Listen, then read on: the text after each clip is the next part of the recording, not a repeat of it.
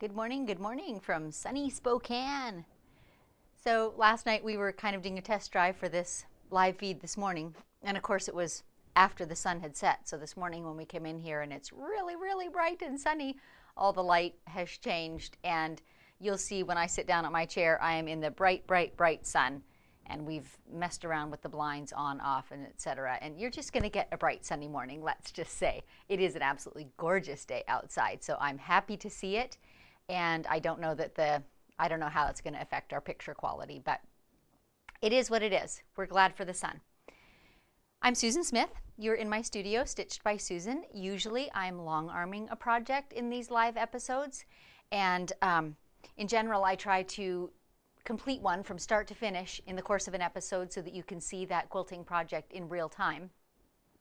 But Lucy, my long arm, um, broke down last Tuesday. And so we spent the week troubleshooting and in consultation with our dealer and so forth and trying to figure out what's wrong. And it's not altogether solved yet, but hopefully parts are coming today and we'll be up and running again tomorrow, fingers crossed. Meantime, um, since we're used to doing these lives and getting together and I knew you'd be watching for something, I decided that I would go ahead and bind the sundress quilt today. So if you were watching these live episodes about three weeks ago, I think I did a series um, four days in a row or close to each other that were the custom quilting of this little sundress quilt. The pattern, by the way, is by Meg Hockey of Crabapple Hill.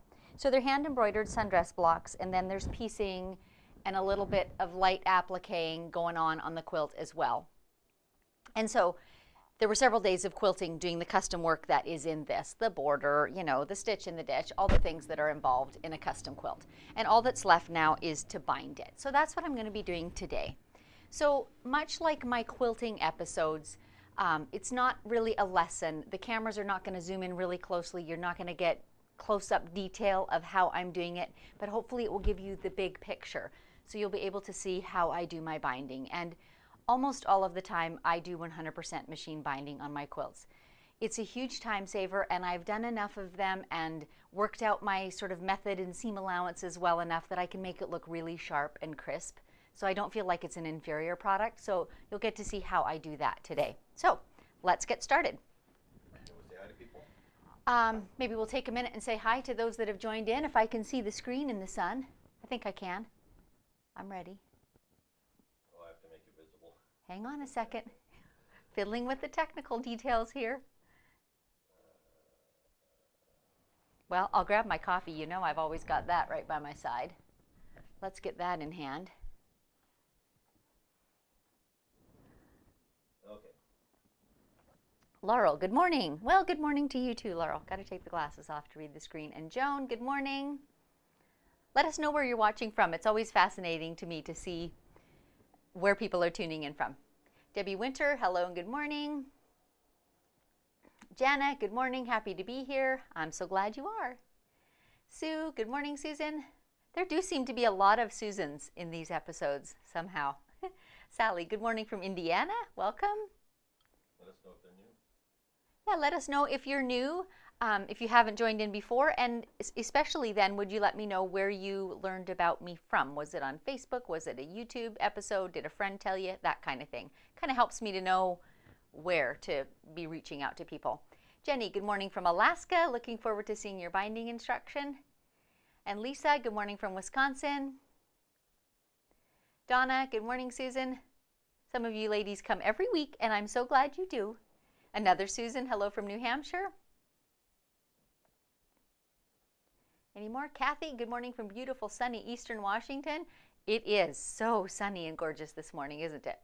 Good morning from Calgary, Alberta. I know right where that is.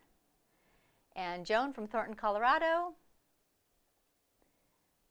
Laurel is Minnesota on the Canadian border. Oh, you're way up there north. Nice. Deb from Annandale, Virginia. Welcome. Stacy from Minnesota. See, this is so fun to see people from all over the continent, not just the country, joining in. Good morning from Central Oregon, Jenny. Good. And Deb, we have rain here in Virginia. Well, that's not a bad thing in the spring, is it? Good morning from Florida. I bet you the weather's gorgeous there. Oh, we got another one. And Lauren from Grand Bend, Ontario. Grand Bend, hard to read, Ontario.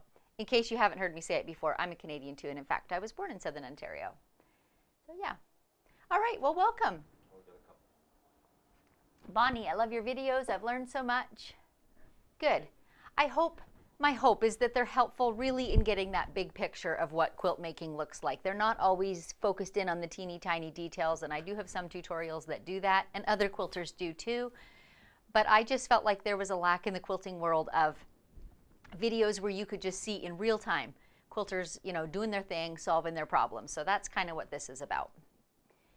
Sally, I've been stalking you live and unscripted for many weeks. I'm brand new to long to long arm quilting. Yes, nice. Well, I'm glad you found us. And Laura, hello and welcome. Laura's name I've seen lots of times. Okay, let's get started. I have already cut my binding strips. My personal preference is a two and a quarter inch width. Some people prefer two and a half or maybe even a little wider. And the odd person prefers two inch, which is a very tiny narrow binding. So I've done mine at two and a quarter. So I'm just going to go ahead and sew my strips together end to end. And here's where you're going to see the beautiful sunshine on my face right here. so I do sew my strips together with a, I don't know if mitered is the right term, but a slanted seam. And the reason I do this is so that my seam allowance has much less bulk. If I were to sew a straight seam and press it open and then do my folds around the quilt, I would get a very bulky area where that seam is. So when I have a slanted seam, that just disperses all that bulk. I'm supposed to look at this comment. Hello from Greece. Oh, awesome. That's fantastic that you're watching from the other side of the world. Welcome. This will make you jealous.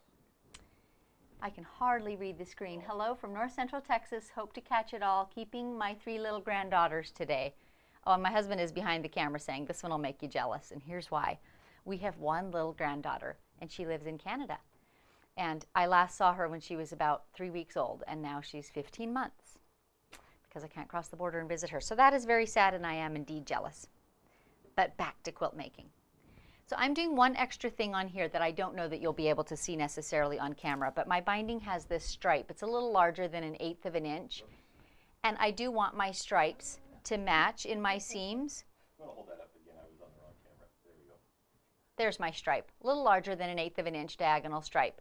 So this is not cut on the bias, as you can see. The, the striping is on the slant, and so I was able to cut on the straight of grain. So I'm just taking the time to pin those stripes matching up green to green and white to white where my little seam is going to be. Just one pin at the top and one at the bottom.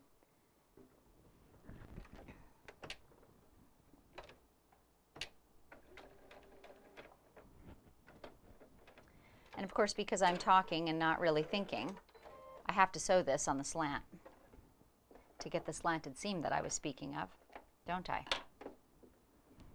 So my pins are still in place. I'm just going to shift them to be where I'm going to be sewing. And I'm going to shift my stripes until they match up right at the edge of the fabric, right where I want to start my seam. And basically, I don't have to do any marking or any pressing of my 45 degree angle, right? Because the stripe is my sewing line. And of course, I'm a short cutter, so I wouldn't be drawing a line there anyways, but lots of quilt makers do.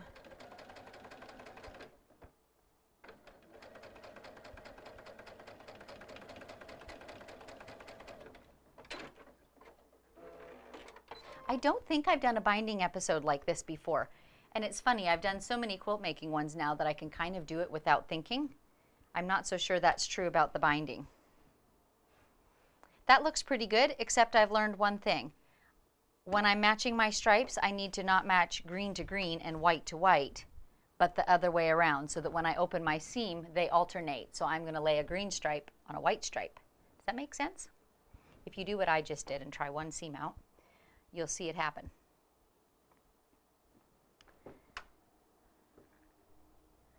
I might, while I do this, just talk for a second about how I, how I calculate my binding um, length, how much I need to cut. So I do cut my binding strips across the width of fabric. So my working assumption is that I will get about 42 inches from each cut. So I measured the perimeter of my quilt And I can't now remember those numbers for you, so I'm going to kind of make up numbers. Let's say the quilt is 50 inches on each side. And so I would say I have four sides to the quilt, that's 200, and I add 10 inches of sort of extra for, for turning corners and things like that, and just, just a wee bit extra joining the ends. And so then I've got 210 inches that I need of total binding. So I divide that by the 42 inches that I will get out of each strip, and that tells me how many strips of binding to cut. So this particular quilt is 64 inches on each side. I can't remember the total number now. I guess that would be 128, so 256. There's some mental math for you right on camera. Anyway, just did the same process. Took the entire perimeter plus 10 inches divided by 42 usable inches per strip. And I arrived at 6 inches each. Or sorry, 6 strips.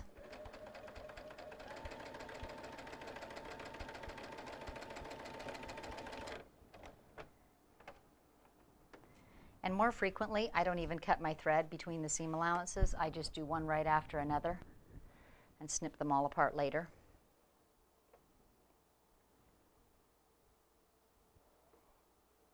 So I'm curious while I do this, are you all sewing on things this morning in your studio too? Or are you sneaking a screen under your desk while you're working?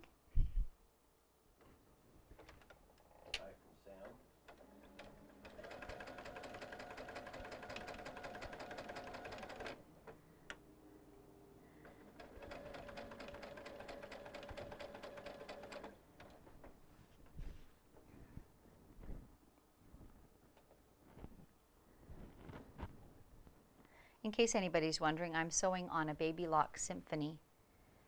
Um, I purchased this machine a number of years ago. It has, it has proven to be a workhorse for me. I have sewn many, many, many miles on it.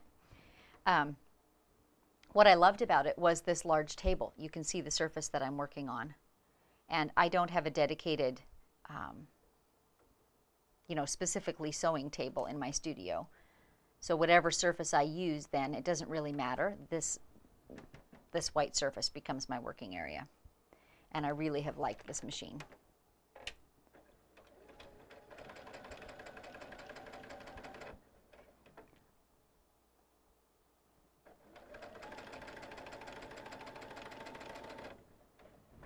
And I think that's all of them.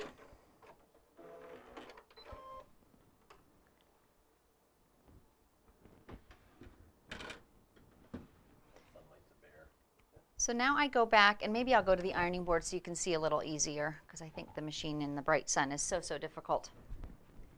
So I'm just taking each corner. So here's my seam now.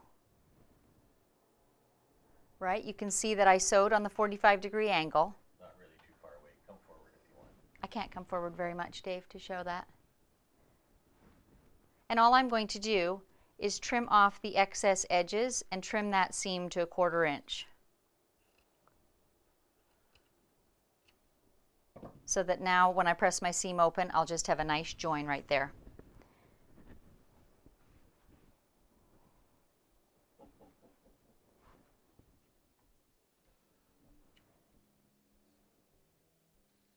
Are we hearing from people what they're working on this morning? Oh, yeah.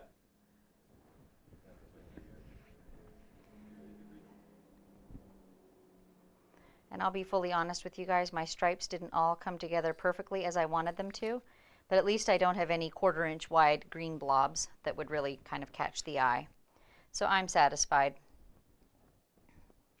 I bet you figured out by now that I'm kind of a, I do like things to be neat, but I'm not really a perfectionist when it comes to my quilts. Good enough is good enough. Let's make sure the iron is on.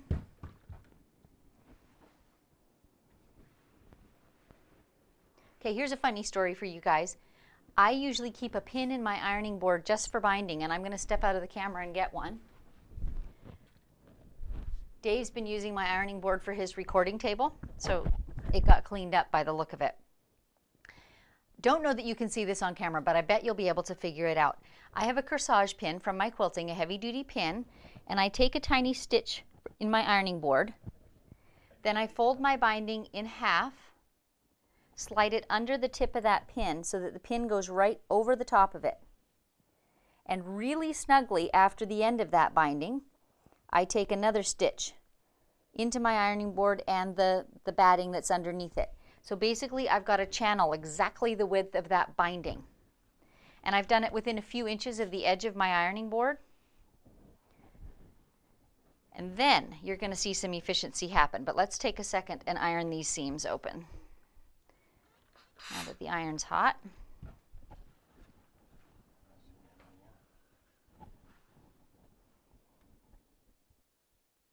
I do iron my seams open always in the binding. Again, just with, excuse me, in the interest of reducing the bulk of those seams.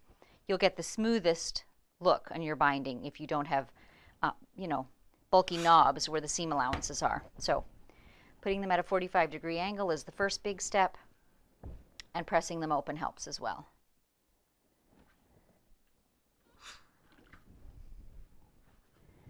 One more.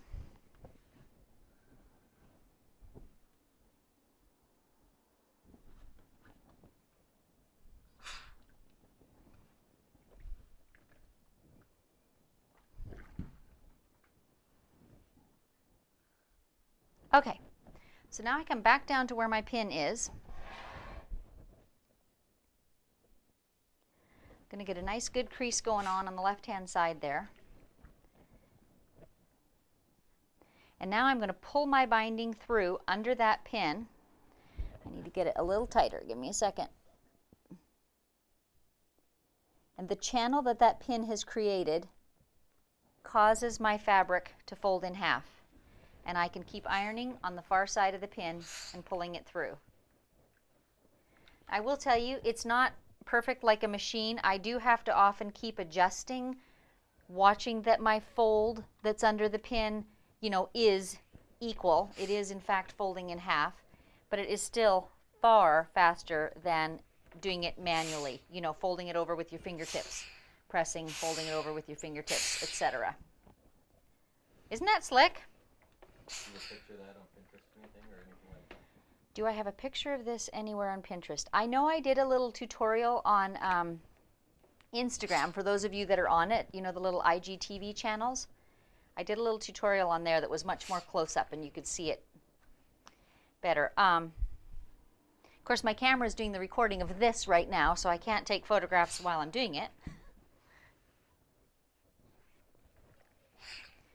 But mentioning cameras reminds me, I've talked to you guys the last couple weeks about buymeacoffee.com, which is kind of a fun way that viewers are able to support what I'm doing and just make little one-time donations. Dave will pop the link up on the screen.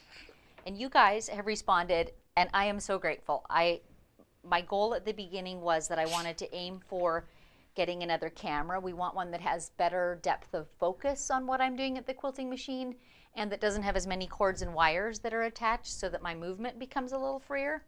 So we are over a third of the way to our goal of a camera. I am so tickled and pleased and thank you all for that.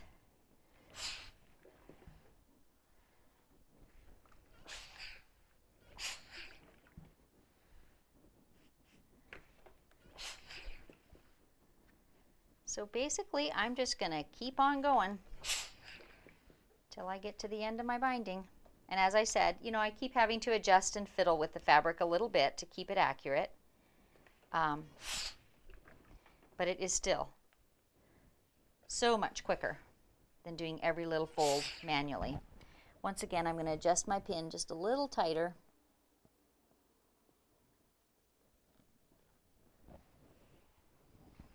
So all that pin does is it just has a little stitch right before the binding and a little stitch right after the binding.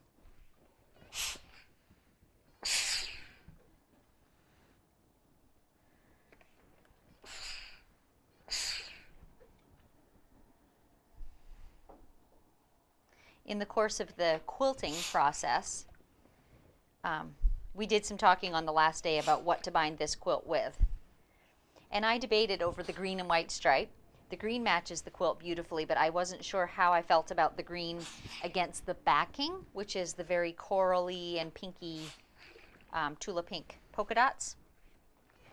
But most of you all calmed my jitters about that and said, just go for it. So that's what I'm doing. I do absolutely love a striped binding, so that was an influencer for sure.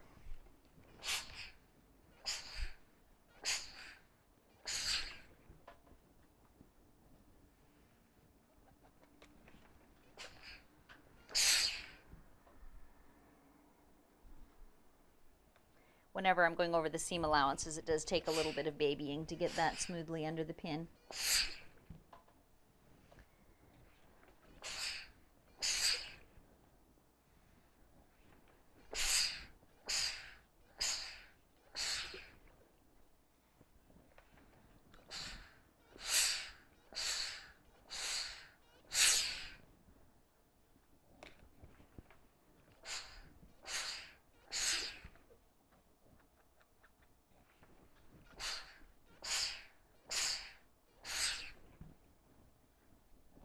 of the iron is on it.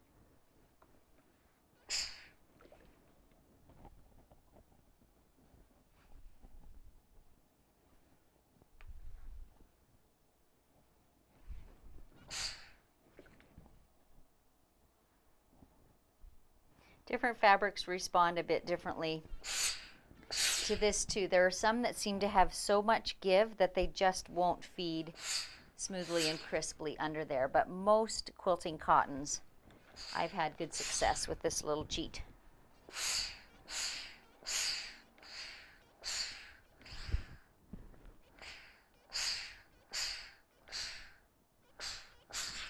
Just like that, our binding is all pressed and it is accurate, like within a thread or two, those folds. Want comments and stuff? Um, sure, I'll take a few comments a and I'll get a sip of coffee. Are you able to raise them, Dave? I'm not able to read them against the background. Okay, Marty, green is a complementary color for red, so it will look great. Thank you. Thank you. I appreciate that. Jenny, flowers in nature are green and pink, hot pink even. If it happens in nature, it can happen on a quilt, right? Yes, indeed. I'm agreeing. Donna, how did you make your ironing board? Oh, that's another aside point. It is just a piece of plywood with one layer of batting over it and one layer of fabric over it, and I've stapled it underneath. And it's just sitting on top of a traditional ironing board. And I've just got a little, um, on all four sides, there's just a little wooden slat that keeps it from sliding, although honestly, it doesn't ever slide on me. Um, that's almost a topic for another day. I love my square ironing board for quilting. This is bigger than it would have to be, but the squareness and the straight lines to work with making quilts and straight seams, top notch. Laura, what iron do you have? It is a Shark um, Professional 1500 watts. So it's not the super high powered ones. They do come more than 1500, but it's more than the traditional, like just clothing iron for your home. Charlene, if you put another pin farther down on the table, it's easier yet. Aha! I will try that. Thank you for that tip. I don't know what this So I assume you mean further out so that it's kind of feeding through one to get the general fold, and then the second one kind of fine tunes it. I don't know what that was Laura. I love that. I'm not sure what you're loving, but I'm glad. okay. So you're asking what everybody was doing? Oh, okay. I'm working. Now we're talking about what everyone's Yeah. doing. We're working upwards on the comments. Sam, listening to Bob Ross of Quilting while I work. I'm so glad that name is, yeah, sticking. Um, by the way, for those of you who are listening, a number of you have listened to and commented on my podcast. So Sam Alberts will be the next guest. So this Wednesday, the episode that's releasing has Sam as my guest. Deb, working on a queen size custom quilt for a customer. Nice. Charlene, I'm sewing a GE Design strip along at the moment. And Jenny, watching on my phone from work, Facebook needs a little mute button on lives. Yeah, doesn't it? And Sally, working on my fifth quilt of valor for the year. Nice. I've got one to quilt in my lineup here shortly. Stacy, watching while I work my day job. Mm-hmm. Day jobs get in the way, don't they? Jana, going down to my long arm. Excellent. And Laura, making a quilt for my husband. Aw, that's nice. Maureen, working and listening. So lots of you are working at other things, which is wonderful. That's it's the perfect uh, blend because you know because I'm not really teaching a focused lesson. You can just kind of have this going in the background and pick up tips where you will. Jeannie, hi Susan, I'm in Canada, daughters in UK and South Carolina. Like you, it's been 15 months. Yeah, it's getting rough. Tell ya.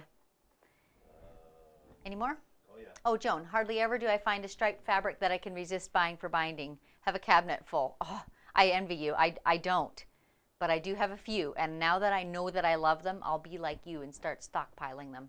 We'll Laurel, can you show a close up of your pins you run the binding through? Either we'll bring a camera over and do a close up, Laura, or after we're done filming, I'll snap some pictures and post them on my Facebook page so you can come back and find them. Jana, love your binding choice. Good, thank you. That's it. And that's it for comments. Okay, so I have another fun tip for you. I'm going to wrap my binding around my hand. Um, I'm kind of spreading my four fingers and making just, I just want it to be round. And I will show you why in a second. If you have a really long binding, this can get in a tangle on the floor. I don't have a, a good fix for that, but this is not a particularly massive binding, so I just let the twists untwist. Get it all wound up.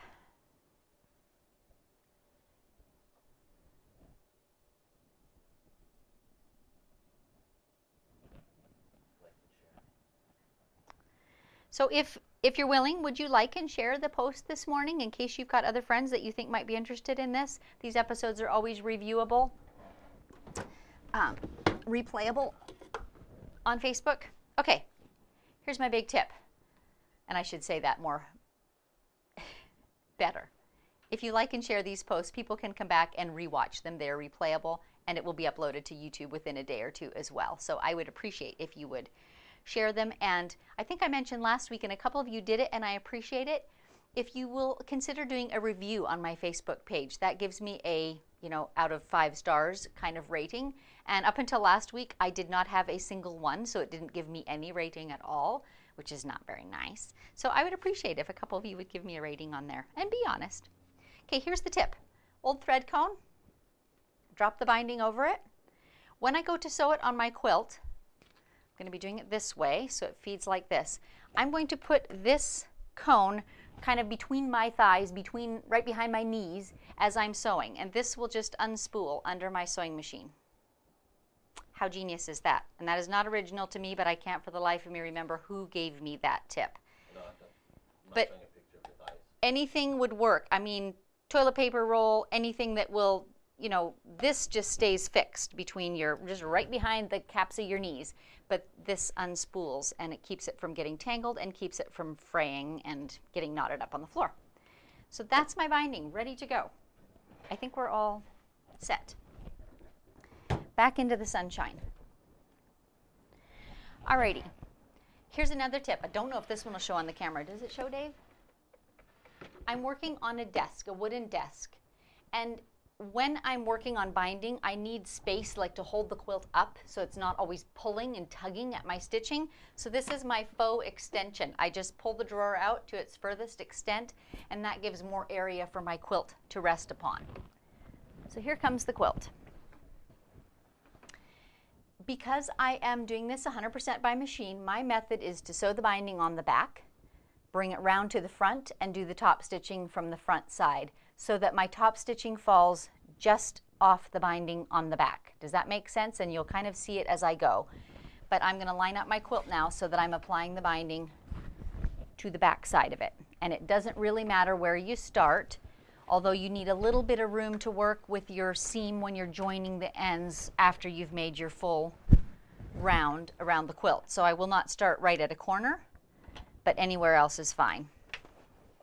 Okay, get my little binding all set up, which you guys can't see, but it's just propped right behind my knees, and now I can just pull it freely. I leave a tail of about eight inches or so for doing my joining up after I've lapped the quilt, so I'm going to start stitching right about here on my quilt top. And in terms of seam allowance, it's something that you want to experiment with. This is kind of what I was referring to when I said I've done so many. I've got these all worked out. Um, so that I get my seam allowance, I get my fold and around the front and I top stitch and that top stitching falls where I want it to be on the back. That takes a little experimentation with the seam allowance, but you want it basically to be a little less than a third the width of your finished binding. So in my case, It's a slightly generous quarter inch. You can try to. I don't know how well this will show on camera because, as you can imagine, it's just a bit bulky and unwieldy handling the quilt. I'll do the best I can, or Dave will, to keep it clear for you. And because of the sun, I totally cannot see my screen on my computer. I'm stitching it at a 3.0 stitch length, so that would be 3 millimeters. So it's fine, but not as fine as I use for piecing. You don't even need to lock stitch at the beginning because I'll be lapping around and stitching over it again at the end. So I'm just lining up the edge of my binding with the edge of my quilt. And for those of you who watched me quilting it, you know that it's got a basting stitch all the way around it at a little less than a quarter inch. So since I'm doing this row of stitching at a little more than a quarter inch, I know that none of that basting will show. And the other thing I'm doing, and this is just from personal experience, my binding here, I'm putting just a little tension on as it feeds into my sewing machine. I find if I don't do that, then my finished quilt has slightly wavy binding, where the binding looks a little bit larger than the quilt, especially after a quilt has been washed and has done its little 2 or 3% of shrinking. So to circumvent that, I just put a little tension on my binding as I sew. And the binding is not super stretchy because it's cut on, this, on the cross grain of your fabric but it has a little bit of give. So I just put that little bit of tension on it.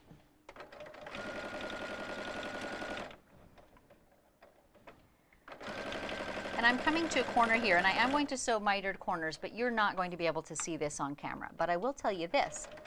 One of the first ever YouTube videos that I made was actually doing machine binding. So if you search back in the archives, oh, probably a year or more ago, um, I do have a video that shows some of those close-ups of how I miter these corners and turn them and get them to be nice and square. And this quilt is particularly bulky and, and heavy because it has the double batting, remember? So it takes a little bit of maneuvering, and I'm sorry if it gets in the way of the camera. But we'll do the best we can.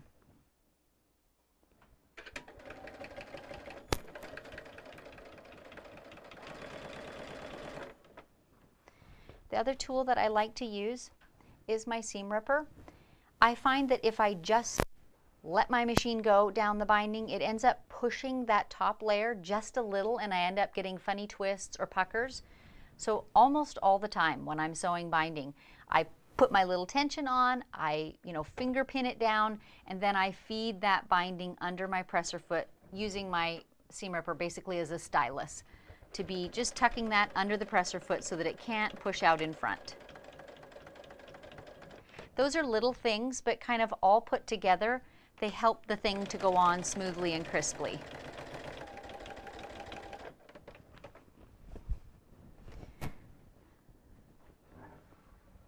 And I'm sorry if this is noisy on the mic. I find that I have to keep readjusting a quilt so that it's not anywhere pulling because it's impossible to stitch a straight line if the quilt is, you know, yawing off to the left. So I keep shifting the weight of the quilt so that it is not at all pulling on my needle. I can stitch freely.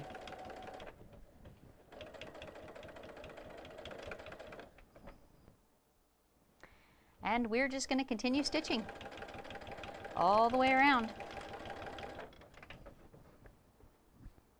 I'm just using 100% cotton thread, the same type of thread that I use for piecing.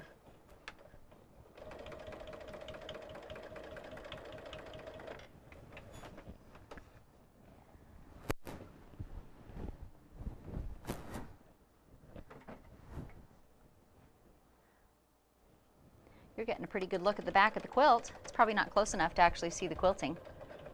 It looks pretty fun on the back though, I'll tell you.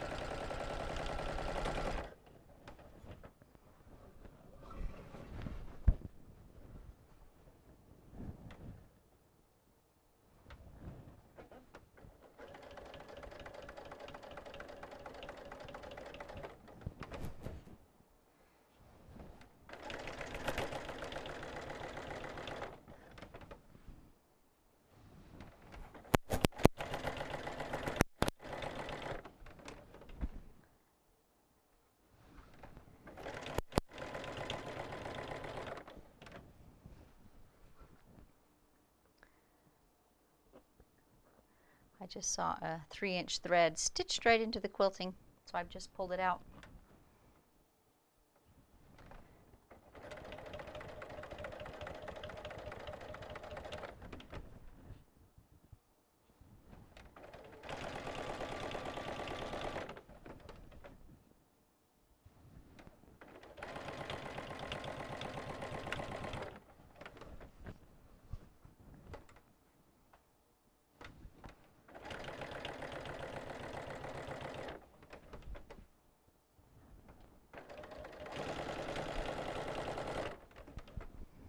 Notice how nicely my binding feeds. I don't ever have to think about it. It's never a tangle. I never have to stop and untwist it, detangle it. Those brief moments of untwisting that I did as I was winding it around my hand is all that I have to fiddle with it. And after that, it just feeds out smooth as anything.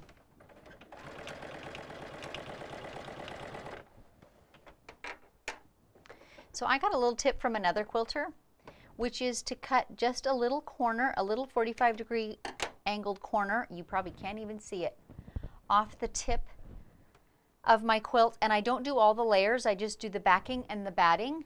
I want some layers in there because I want that corner to feel full, not empty, but I don't want that corner to feel hard and stuffed. Does that make sense? So for me, that's a good middle ground, is just taking a small partial tip. It's not in as far as the seam allowance even. It's just a little, a little ear nipped off that corner. And that helps my corners to lay flat. Again, something that you could experiment with how much to cut to get the look and feel that you want in your corners.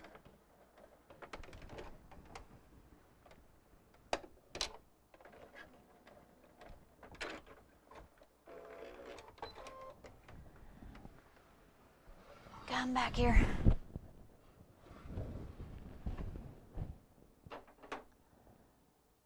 Every time I see a thread, I'm just clipping it because I won't remember where they are.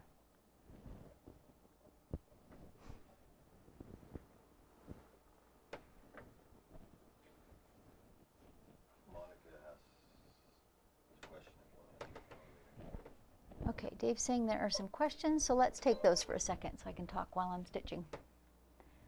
Monica, have you attached the binding with the long arm? I have Monica. I don't typically do that on my own quilts because that involves attaching the binding to the front of the quilts. I do it for clients and then they flip it around to the back and hand stitch it. So short answer is yes, I have, but I don't usually on my own quilts.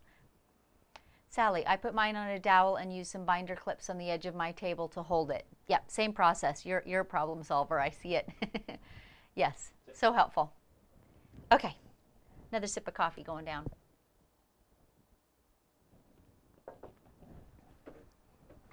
Whoops, didn't realize I didn't have my needle in the quilt and I just pulled it out from under. Get my little mitered corner done again.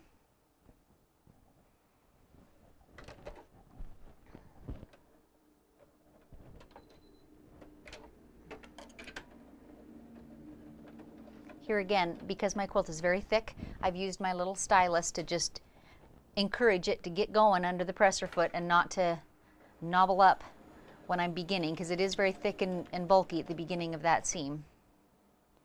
So I just take my time. Just take my time. Accuracy here does matter. The more accurately your binding is folded, the more accurate that your seam allowances are, the smoother that you stitch it down, the better crisp and neat binding result you're going to get.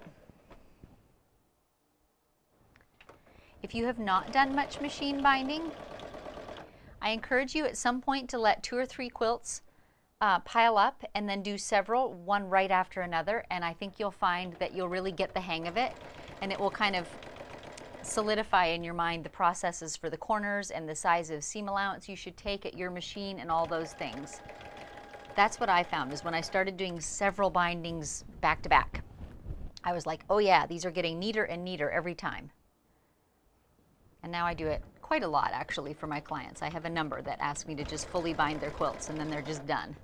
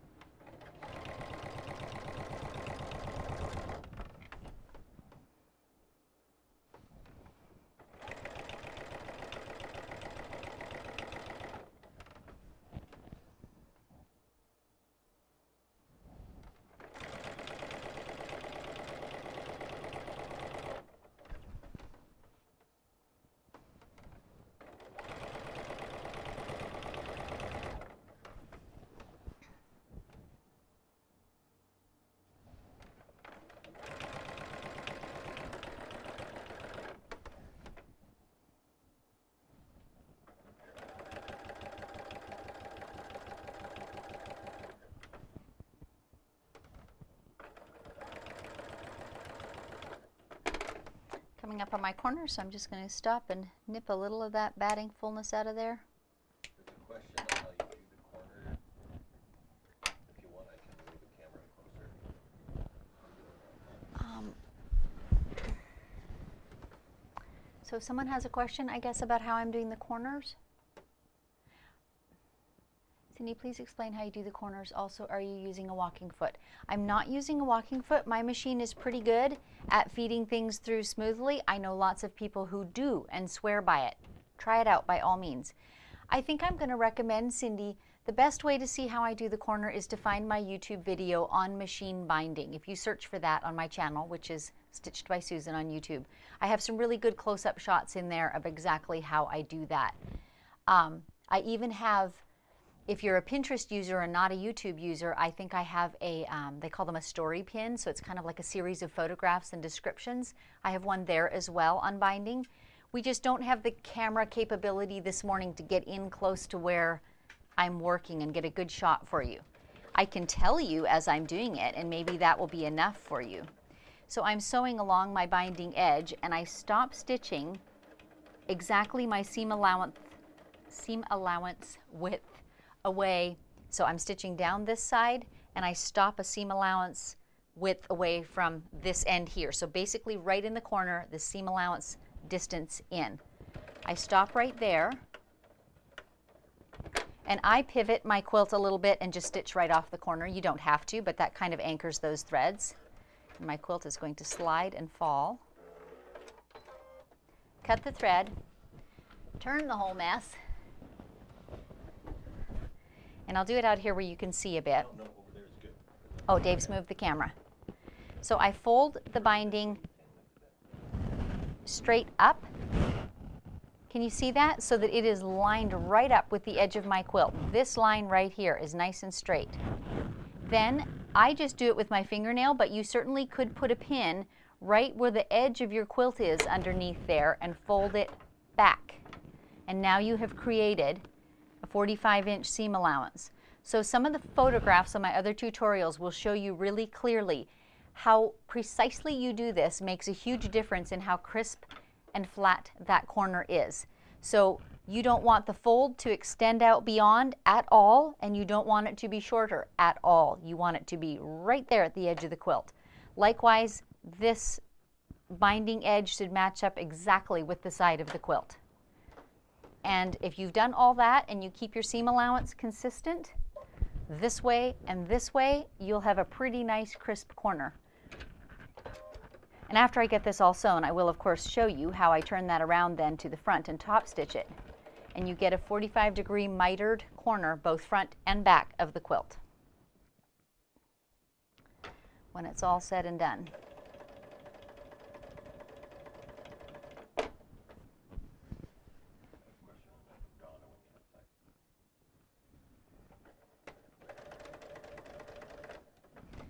Just got to shift this. It's just pulling. Okay, we have another question. Donna is asking, I also see my sew my binding on this way, but I can never get the stitching to look nice in the reverse side. Any suggestions? I will give you some suggestions when I come to doing that. Absolutely.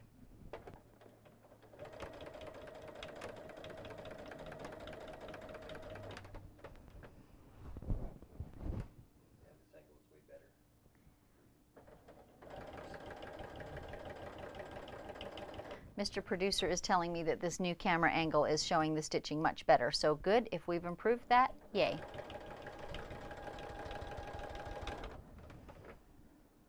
And you can see that I'm taking my time a little bit to do this. I've said it already once or twice, but I'll say it again. Every bit of accuracy and neatness that you strive toward here, that all contributes to the neat binding at the end. And I think, Donna, this is part of getting the stitching to look nice when you top stitch it as well, having a consistent seam allowance width here and therefore having a consistent binding width, you know, after it's folded around the quilt, all that comes into play. You can imagine if this seam allowance wobbles a little bit, you know, a 16th or an eighth of an inch here and there, and then that is exacerbated when I roll the binding around to the front of the quilt, and if that's not straight, then there's just no way to have a nice, neat um, top stitching. I know that's kind of rambling, but you, you get the gist of it. It really matters, I think, when you're applying binding that you be quite consistent about it. And just slow down till you, till you can get it. Okay, there's another comment. Sally, after you make the turn, do you start stitching right at the edge of the quilt or do you start in or down the seam width? I start right at the edge of the quilt. I start right back in on the edge. That's kind of why I have to use my stylus to encourage it through. Um, that's a bulky bit going under the presser foot and it doesn't want to start easily, but I do start right at the edge.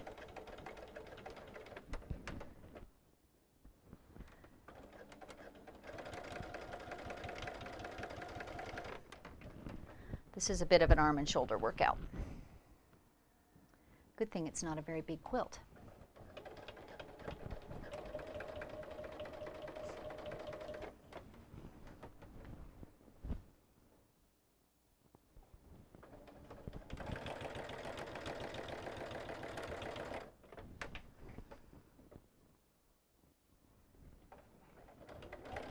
You can see I'm just kind of alternating, trying all these different ways, putting a little tug on the back, using my stylus, whatever I've got to do to keep it going straight in under there.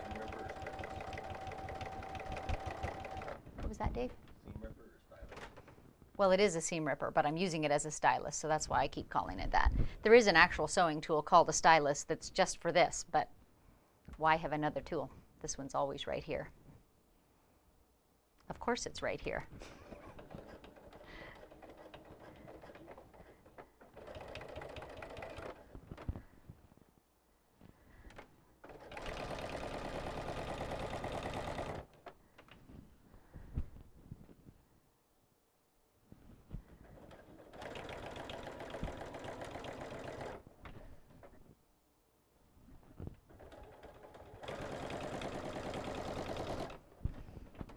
A little side note. Growing up, my mother did a lot of sewing too, and I learned to sew from her. And I still have the seam ripper that she had when I was a child. And it was one of those kind that had a seam ripper on one end and then you could you could reverse it within its handle and it had a little tiny buttonhole ripper on the other end. Okay, well the moral to this story, which I did not realize through all of my growing up years sewing and using that one single seam ripper, they dull and they're hard to use when they're dull. so I still have it because it's just kind of that reminder to myself that frugal as I am, I'm not so frugal that I use the same tool for 20 years. Change your seam ripper out, and if in doubt, get a new one and try it and see how much more smoothly it works. Like when I have a sharp seam ripper, and this is just the Dritz, very ordinary variety, I can undo a seam just by sliding it along. I don't have to pick two threads at a time or anything like that. And uh, yeah, seriously, I do have that little one of my mom's, and it is not even as sharp as a butter knife, I tell you. It's ridiculous. So, don't be that frugal, is what I'm saying. Have good tools. Appropriate and well-made tools just make the job so much easier. So I buy these little Dritz guys. They do happen to be my favorite, the little blue Dritz ones. I buy them several at a time. And I do just that. Every so often I pull out a new one. And if there's a real difference in how it feels and how it works, I'm like, okay, that other one's old, turf it.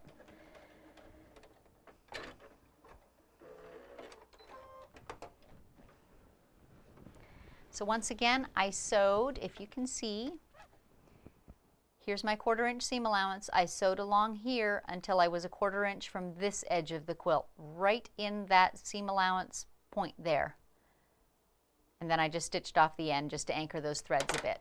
So now I can fold my fabric back against that stitching, lining up this line really nice and straight. Can't overemphasize that, that this does not tilt to one side or to the other. Get it really nice and straight. And then a really crisp fold back. Get it close to me so I can see it. Perfect. Manhandle the quilt a little bit. Sorry if it's bumping the microphone, I just can't help it. And again, start stitching right at that edge.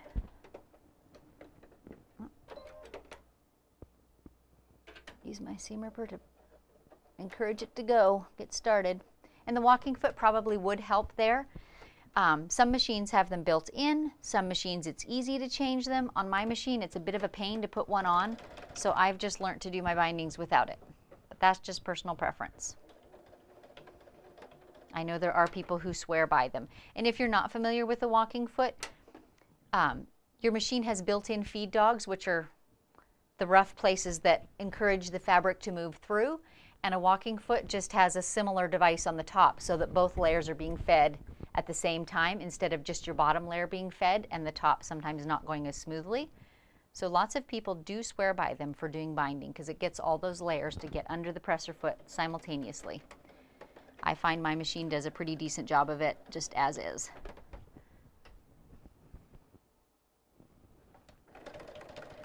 I believe we're on the last side, if I haven't lost track.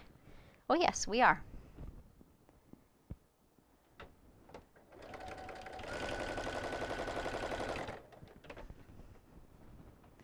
When I've got the quilt laying here just right, I get an area where I can just zip along, but most of the time I'm going slowly because as I shift the quilt through, I can feel it's pushing or pulling a little, so I'm just taking it easy.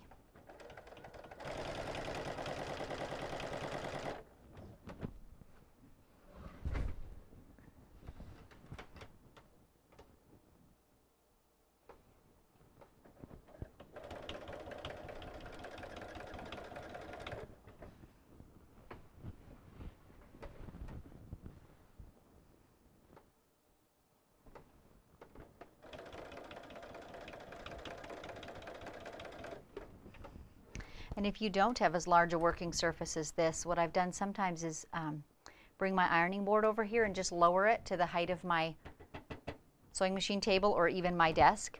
Just and you can set it behind, on the side, whatever way is convenient for you. Just again to have something that will hold up all this bulky weight. It's impossible to put a binding on straight if that whole quilt is bearing down on your sewing. It's impossible to keep a nice even seam.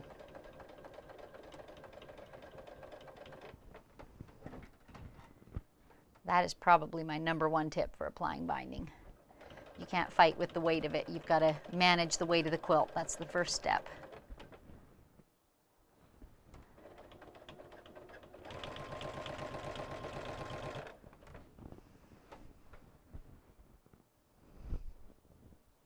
Okay, you guys, this is going to be funny. Wait till I get to the end here. You're going to see how close my binding is. So I was just fixing to say, look ahead and be ready to leave a six or eight inch tail of unstitched binding.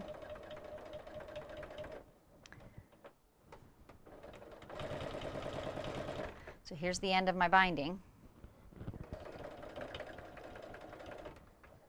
I'm going to break my thread and show you. Here's the edge of my binding. Here's my beginning. I have about uh, two or maybe two and a half inches to spare. That's pretty exact. I'm glad it didn't go the other way and I was two and a half inches short. okay, so this will make it easy to talk about how we join these ends. No? Sure, let's take some comments.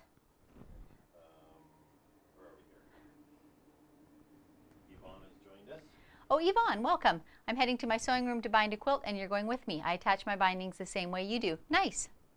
You might understand this one. I And Donna, I strive for my top stitching to be on the edge of the binding on the back side. Hard to explain. No, I know what you mean. And I think in my early machine um, binding application, I did that too. I made the top stitching, you know, land on the binding on the back. I couldn't keep it even enough to look good. So I'll show you what I do in just a few minutes. And to me, it was a good workaround, a good solution. Keep my thread cone for later. More comments. Jana, love your binding choice. Good. Laurel, I haven't tried it, but someone said that you can use an emery board to sharpen a seam ripper. That would certainly be worth a try. Absolutely. Joan, Susan, you should try a Kai seam ripper.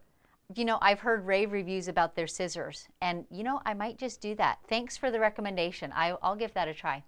Cindy, I second that the Kai seam ripper is the best. Okay, I'm going to give it a try.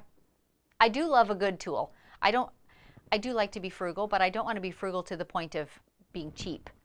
This is what I do for a living, and I want good tools because it makes working so much more pleasurable, doesn't it? Okay, back to our binding. So would you be mainly flat, I can move that other camera back? Be mainly flat, if I move the other side, will it be better? Does this show on the camera, Dave, here what I'm working on? Because I'm going to do a little measuring and snipping. Maybe you want to just shift it a bit. We're just going to adjust cameras here, guys. Sorry about talking off, off camera, so to speak. Just so you can see this, because this is rather important. Got it? So I, this is my ending, where I've been sewing, coming here. This was my beginning flap that I left unstitched. So I'm going to first trim off um, the selvage and any of the little, you know, holes that are often in that end. I want only usable fabric on this top piece here. Get rid of that. And now, again, I'm going to put the same kind of pressure on it that I've been pressing, putting on my binding as I've been applying it. I'm going to put that same little bit of tension and pin it in place. You don't have to pin, I just find this keeps anything from shifting on me. I'm going to take my binding from the other end, again put the same amount of pressure. I just, I want to be able to see this edge here, so I'm just going to lift, put it in a little ways. Does that make sense? I know if you're just listening, it's not going to make any sense at all, but if you're watching, hopefully it will. So a little bit of tension, lay it down where I can see the overlapping area of the binding and pin it again close to the other one.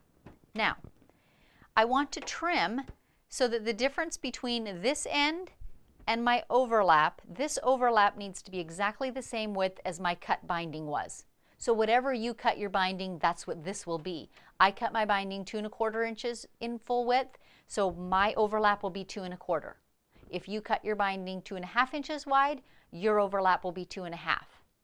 And if you have a long tail of extra binding, often I'll just open that out and lay it over top and use that as my measurement. That's an easy way to do it, but because I just don't have enough tails today, brought out the ruler. So two and a quarter inches. So I'm measuring from my bottom measuring how much overlap, getting awkward around my sewing machine, and just snipping that off.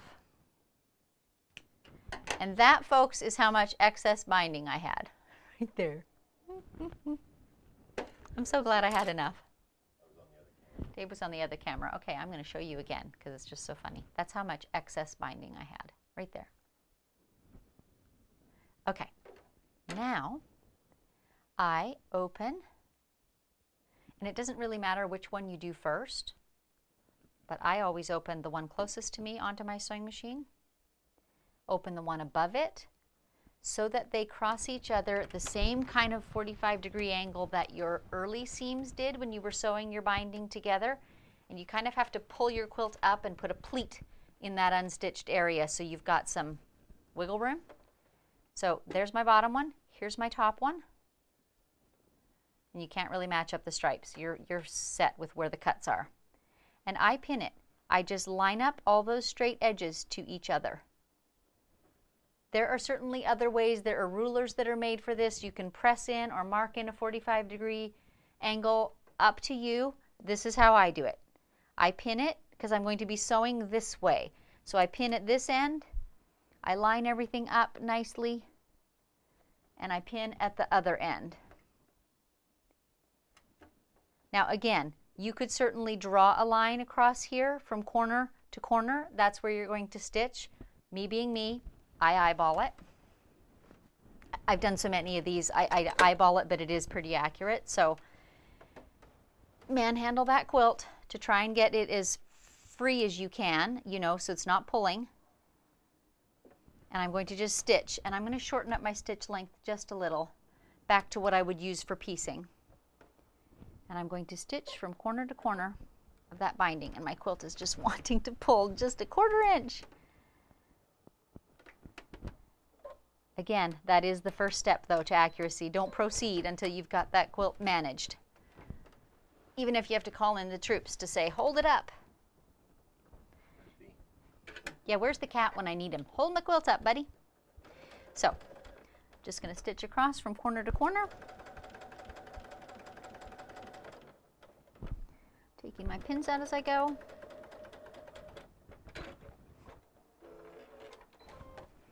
And then I do the check. I pull it open and I see, did I get it right? Because I have managed to twist that seam and have a funny little knobbly here before. But no, it is indeed right. It's not too tight. It's not too loose. It's perfect, like Mary Poppins. So then I just pull my quilt in a little bit again and trim that seam allowance down to a quarter inch. I don't take it to the ironing board, I just open it and press it with my thumbnails a little bit.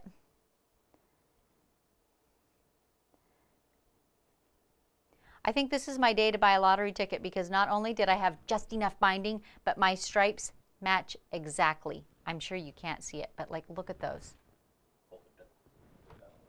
Whoop. It's an awkward angle, but look at those stripes. They perfectly match. So I get that little seam allowance kind of pressed, make sure that it's not um, twisted anywhere in there and fold that binding closed.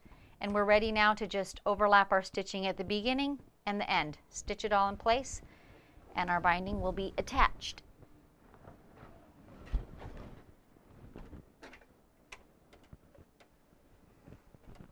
This is definitely not the easiest quilt in the world to work with. It is so heavy.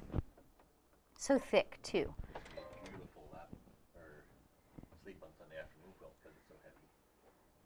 Dave says it's going to be a beautiful sleep on Sunday afternoon quilt. I have bad news for him. This is not going to be a sleep on Sunday afternoon quilt.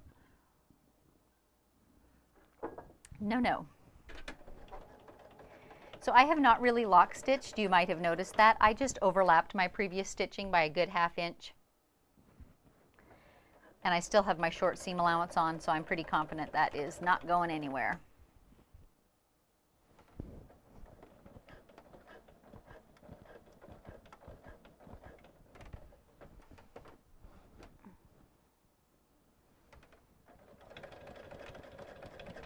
So now if you recall when we attached our binding pieces end to end when we began, they all had 45 degree angled seams and now so does this finishing join.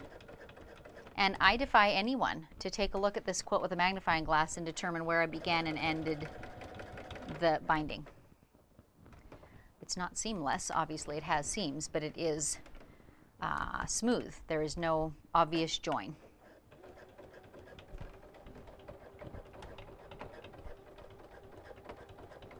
And again, I'm just overlapping my previous stitching. This time I will do a couple lock stitches just to show you that works too. Cut the threads and it's attached. Yay!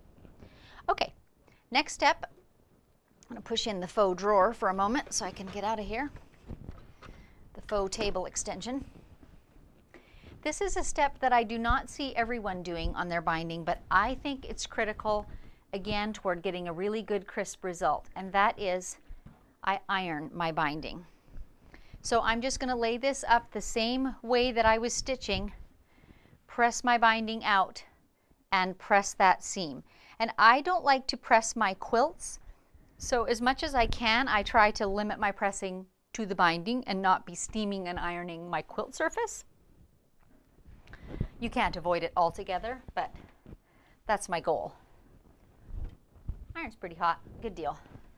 So i have just got my iron kind of tilted like so, so that the bulk of my pressing is just on that little seam. Just smoothing it away from the quilt. This makes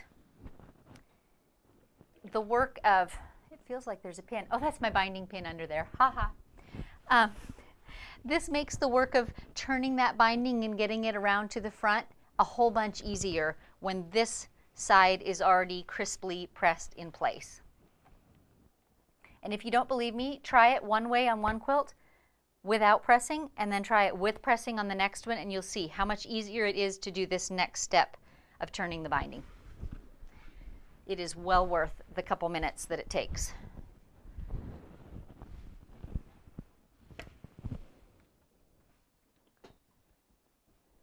And I'm not even using steam. I'm just, just getting a good crisp press on that.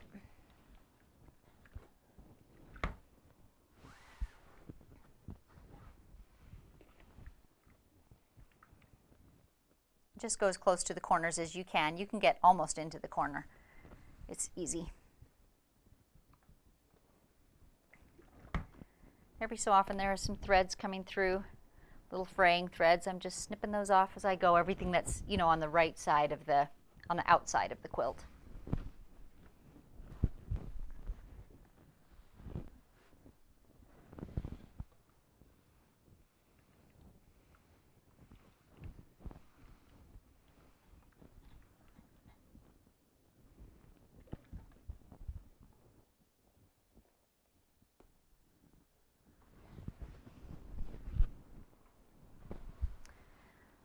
Last side.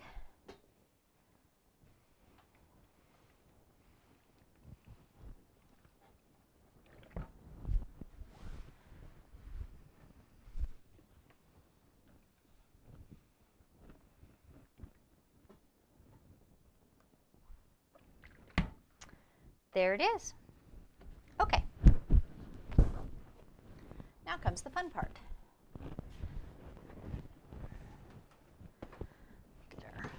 Faux table extension in place again. So now we'll be looking at the right side of the quilt. And I tend to start at a corner. So I get it going before the corner and then turn that corner and then I'm launched. And I, I find that the easiest to join when I've done my lap around. Again, you should experiment.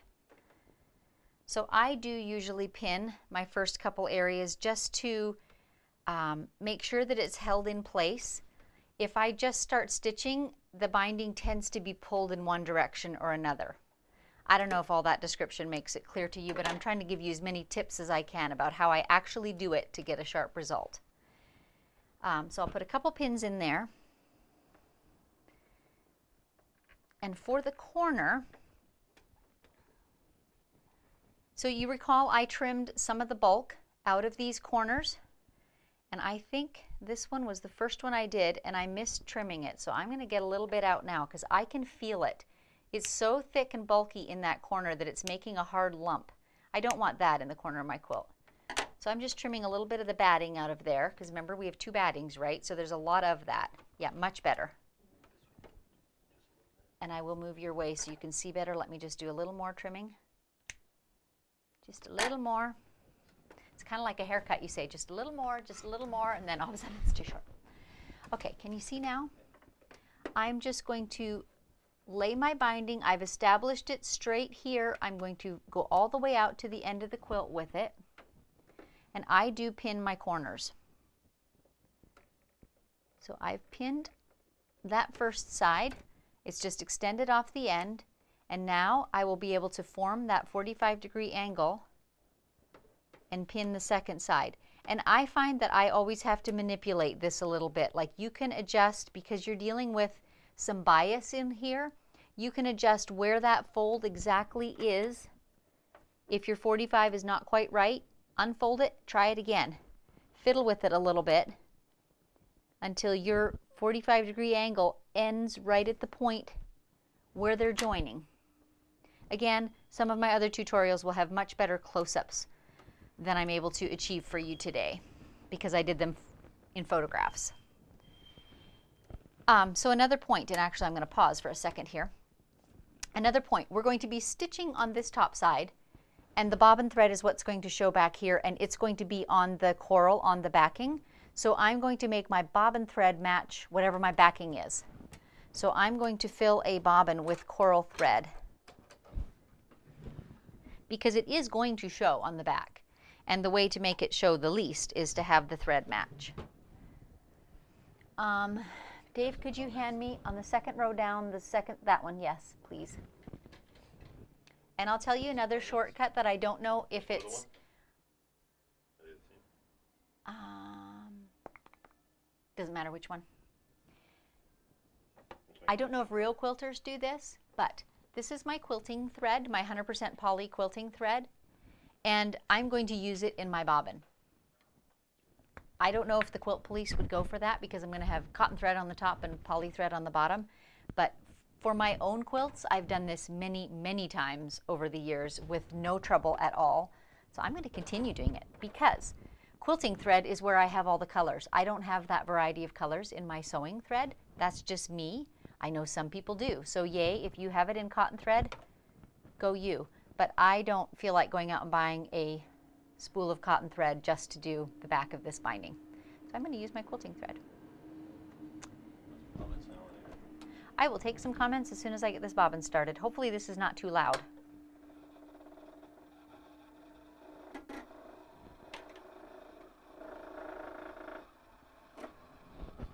Okay, comments? Karen, I love this way of attaching binding. Me too. It's it's really quite speedy. When I'm not doing it on camera and dealing with a bulky quilt, I can whip out a quilt in a very short period of time. Sue, late to the party, miscalculated the time difference. Good grief. Well, you know, the replay is always there. You can go back and see the earlier bits if you want to. Sally, I agree 100% with pressing the binding. So much easier to turn. Mm-hmm. It's just one little thing that takes five minutes and really makes it a better result. Yep, yep, good. Oh, Yvonne, I also press and then use the little butterfly clamps on just the corners, maybe six inches or so on each side of the corner. I love the clamps. No more tortuous pin pricks. I hear you. I don't personally have the clamps, so pins it is for me. But I can imagine you would get a lot less pin pricks if you did have the little tiny clamps. So I now have pretty coral thread in the bottom. Just rethreading the top. One of the cool features of this sewing machine, it does not have a lot of bells and whistles, but it has a needle threader. Yay!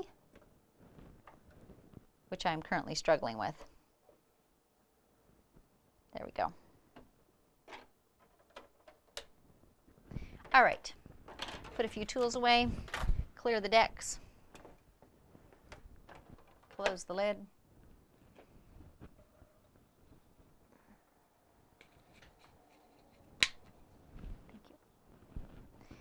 All right, and we're going to start top stitching. And again, you guys are seeing a challenging project because dealing with this double batting is a little trickier too. It's there's just a lot of bulk in here under the under the binding going on.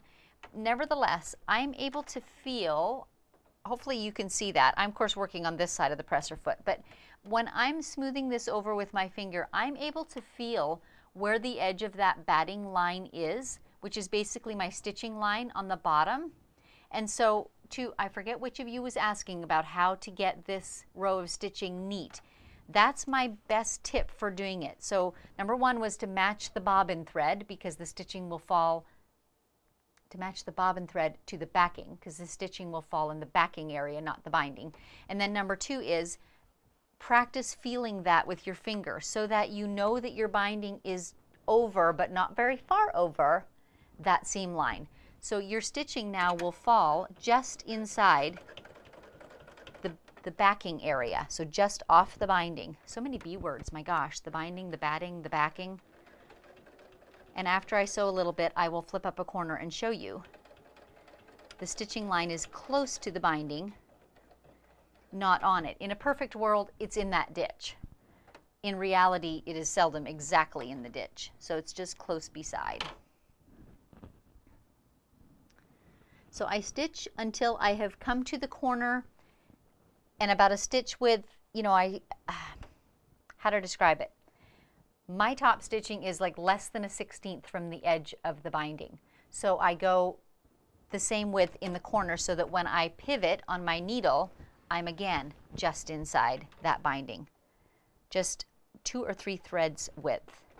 Now I've still got pins in there. My machine is okay with that if I stitch slowly. Um, you might try Yvonne's trick with the clamps. Um, I find that I have to leave the pins in until I get that corner stitched or it shifts on me. And as soon as I get a stitch in the corner anchoring it, then they can come out. After that, I don't pin anymore. So I'm used to the exact width of my binding in relation to my presser foot because I always cut my binding the same width and I always apply it the same way. So you'll kind of have to find your own trim in terms of that. But always as I'm stitching, I'm folding the binding over and then feeling with my fingertips, have I gotten over that seam allowance hump underneath so that I'm stitching on the backing and not on the binding on the wrong side. So let me just do eight or 10 inches so that I can at least that so that I can hold up the end and you can see what it looks like on the bottom side.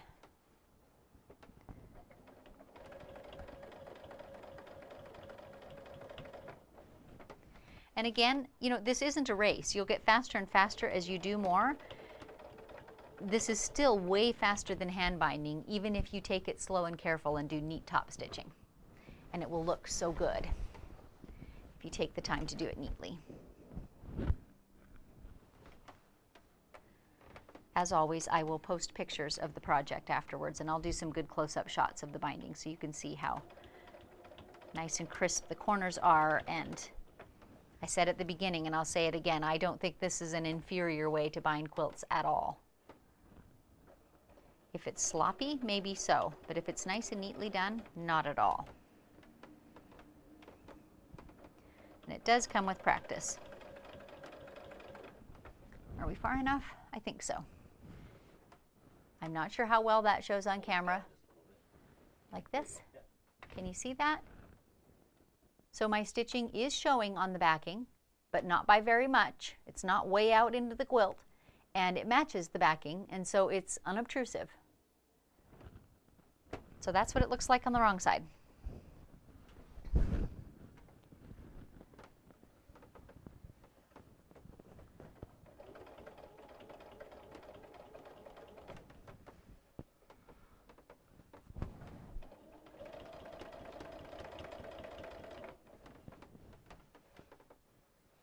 And that's basically it, folks. I just keep on stitching all the way around.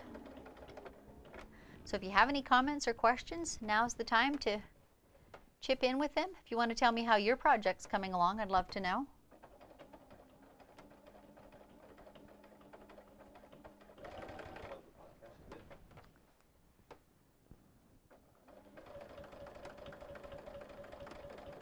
I briefly mentioned my new podcast earlier. Um, it launched last Wednesday with three episodes to begin with. And episode number one I did with my sister because we grew up in a quilting family. And so I thought it would be fun for us to reminisce and um, just share some of our stories and memories.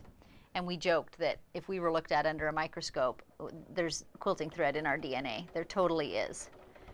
Um, I have quilts in my home made by five generations of women uh, my daughter being the youngest.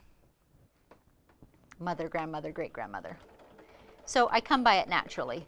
But we also told some funny stories about where we grew up in a remote area of northern Canada and things like that. So if you have a minute, take a listen. I'd appreciate it. Um, leave a review, share, be so lovely. And yeah, new episodes will be dropping every Wednesday, and they're all just interviews with quilters who are telling their stories. Some of them who have businesses in quilting like I do, others who are makers or it's just their creative outlet. Hopefully all different kinds of quilters. That's my aim. So it's not necessarily about promoting businesses. It's just about quilters telling their stories. And what quilting or crafting, there may be other crafts down the road too, but just what that has meant to them in their lives.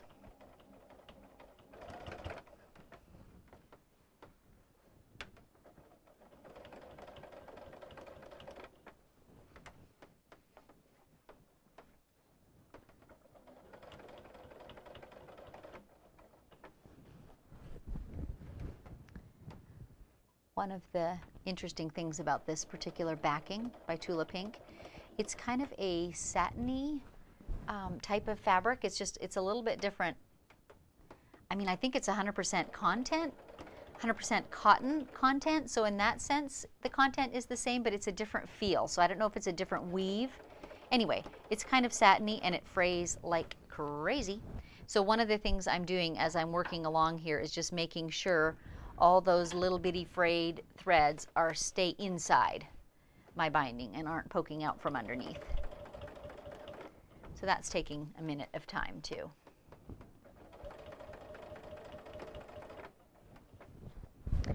If you find that your binding is wanting to push ahead of your presser foot, this is where the little stylus comes in handy again. I'm not having trouble with that. Remember I put a little bit of tension on that binding so it's pulled fairly snug so it's not giving me trouble. But different sewing machines handle it differently too. So if that's one of the problems you're having, Just use, use your little stylus because you can easily just be tucking that in, tucking it in, tucking it in, and avoid having, you know, the binding pushing out in front of you.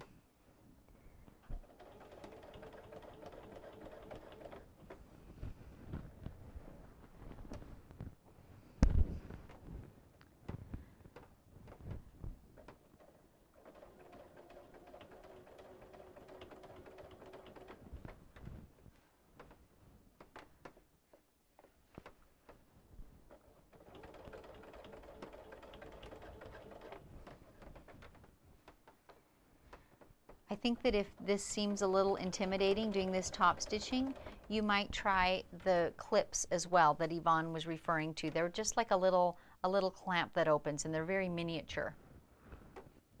And that might be helpful for you to have an area of it clipped in front of where you're sewing. Then there's not so many things to kind of hang on to and maneuver and manipulate. So by all means, if you need, you know, that's almost like training wheels, but if you need that, absolutely do it rather than fighting with and getting frustrated with trying to hang on to all these bits.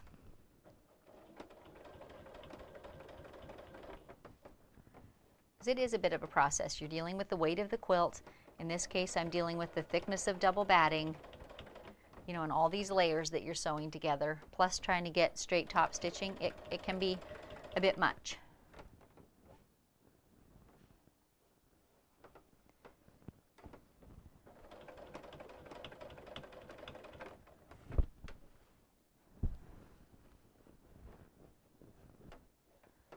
So many little threads.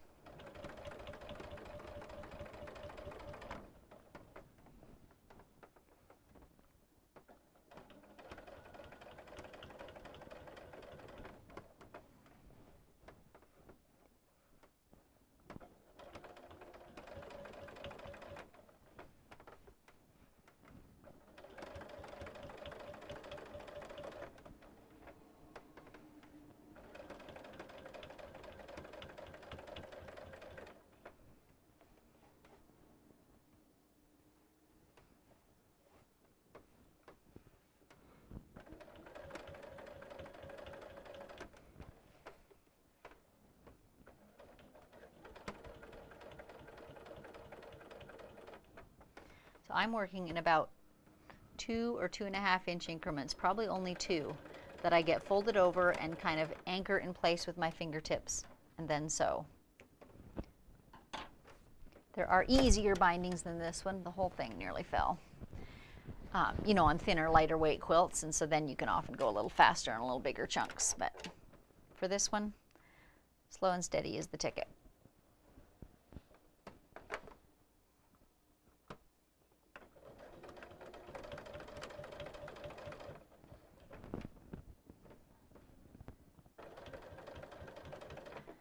So I'm up on a corner again, which I know you probably can't see super well, but I am going to employ my pins. So I'm pinning just almost at the very corner with my, um, at the quarter inch seam allowance with my first pin. Then I'm manipulating that miter. This time I got it right the first time.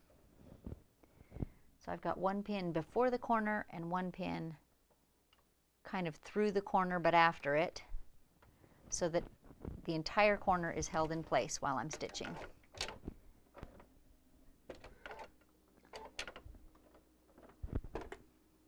And now I'm using my trusty stylus to just hold my binding in a nice straight line under my top stitching. It's pulled quite snugly so it's wanting to pull away and I'm just encouraging it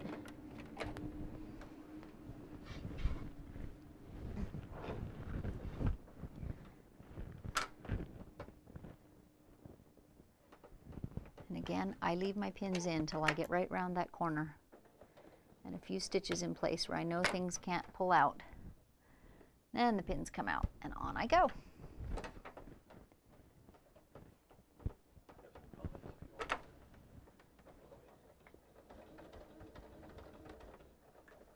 Yeah, let's take a couple comments. My shoulder needs a break. We seeing it there? I don't know that it's really showing well, but isn't that pretty? Yeah, it's going to be so sharp.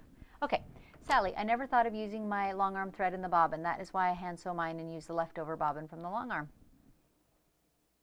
I just, I wind it and I keep in my sewing machine drawer, actually, I have a bobbin case that's for my regular cotton threads, and then I have another bobbin case that has my 100% poly on bobbins because I, I use them from time to time, so I just leave the bobbin there for the next time.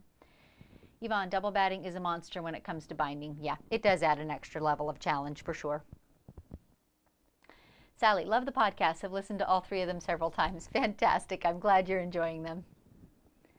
Yvonne, I used to pin the entire perimeter of my quilts and ended up looking like I'd done battle with a mountain lion, scratches and blood. I know it. I've done that too because it's folded and twisted and you, yeah, pinpricks galore. Deb, my Juki machine has a presser foot especially to top stitch the binding like this. That would be nice. I've heard great things about Juki machines. I have never used one myself. That's it. Okay. That wasn't a very long break, you guys. I could have used more comments. Just saying. Back at it.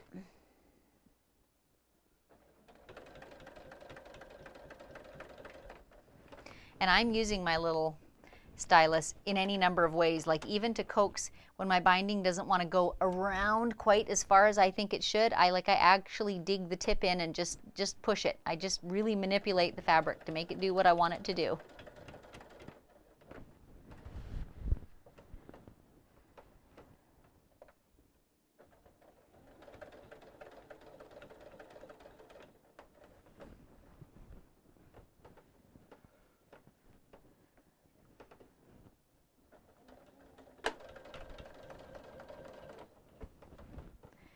I probably could have benefited with a hair narrower seam allowance when attaching my binding on the back.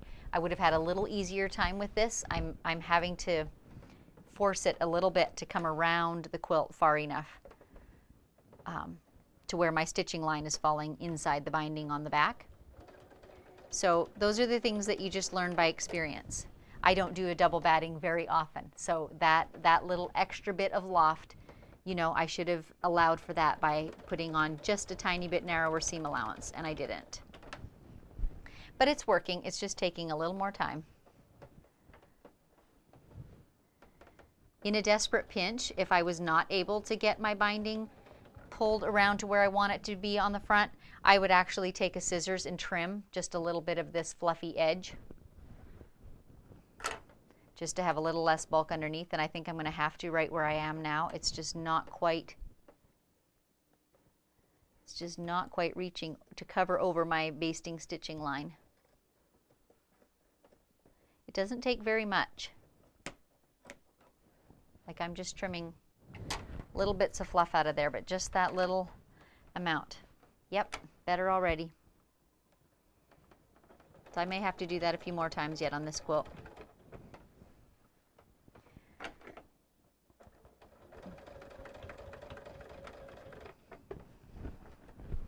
To some extent, my level of pickiness is dictated a little bit by the project that I'm working on. And I talked about this when I was quilting this quilt. I invested a ton of hours in embroidering the dresses, right?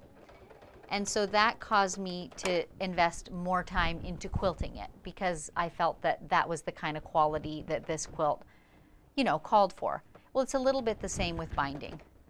Um, I want this to be just right. So I'm taking the time to get my top stitching really nice and accurate. Um, if it was a more casual quilt, I might not be spending quite as much time on that. But I want the whole thing to be high quality. I'm to do a little more trimming. I will happily take a question, yes. Sue, you may have answered this already. What is the width of your binding? Is it double fold? It is double fold, yes. So it was two and a quarter inches um, to start with.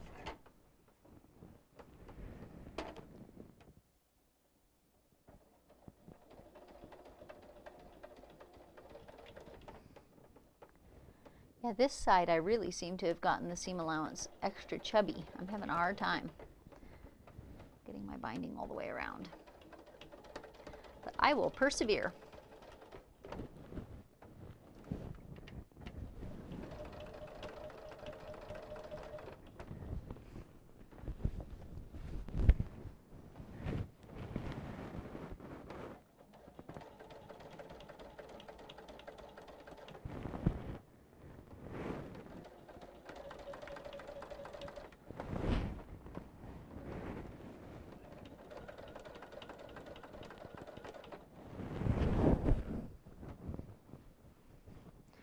Sorry about the rustles in the mic. I'm really trying to keep the quilt um, from brushing up against it, but I forget about it sometimes when I'm busy manhandling it.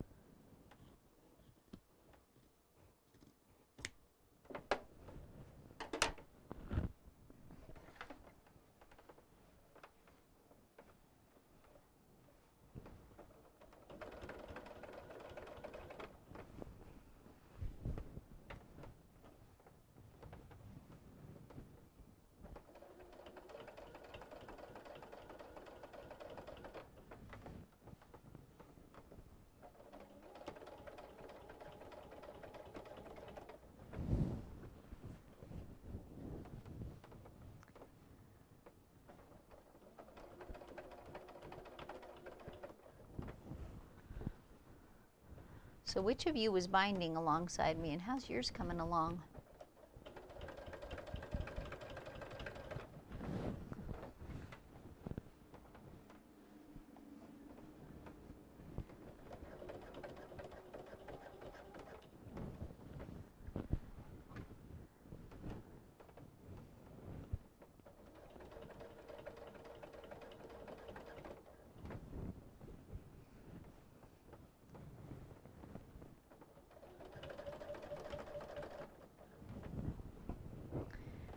And while I think of it and wait for some more comments, um, I do not think I will have a live episode next Monday. Um, I'm airing my little all over feather boot camp on Wednesday, Thursday, Friday, Saturday of this week. So then I'm going to take a few days off um, from videoing so that I can do some sewing in my PJs. Dave has put the link for the boot camp in the chat if you're interested. So um, if you attended my all over feather webinar, it is similar content, the same style of feather and all over quilting. We've just re-recorded the videos and I thought I would try a kind of different format of presenting it where it's broken down into the four days and then there's more time for um, feedback and interaction with students. So if you're interested in joining it, the link is there. They are airing live, but the replays are also available, so you do not have to watch them live. A little more trimming.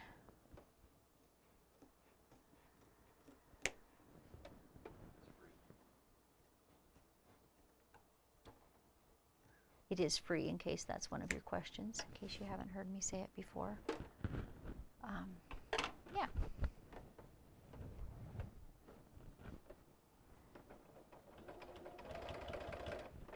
Currently quilting the all over feather is one of my favorite favorite things to do. And actually you guys can't see Lucy in the camera. She's kind of off angle but I was in right in the middle of a king sized quilt that I was doing all over feathers on when she broke down. And when I say broke down I mean she stopped on a dime blew the breaker the lights all went out scared the bejeebers out of me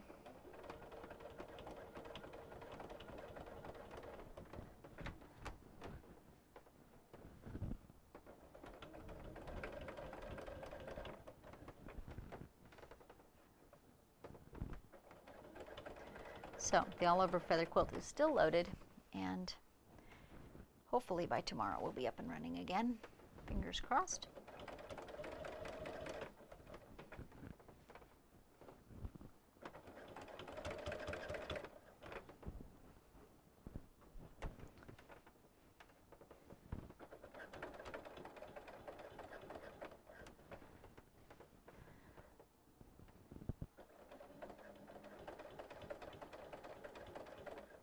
If you're really listening to your sewing machine, you can actually hear if you inadvertently catch that binding on the back, and I just heard it. I caught it for two stitches.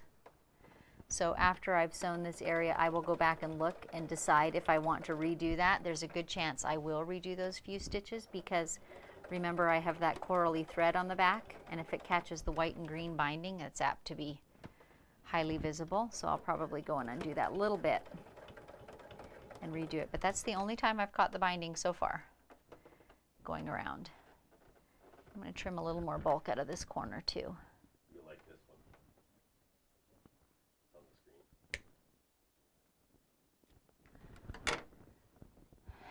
screen. Sue Brickman sounds like Lucy had a hot flash. Isn't that the truth of it? Oh my goodness, yes. And we, we don't really know what happened. We know what the result is, which is communications are not getting through from the switches, you know, to the motor. So there's there's some kind of electrical um, short going on, lack of communication. If only hot flashes were that easy to solve, am I right?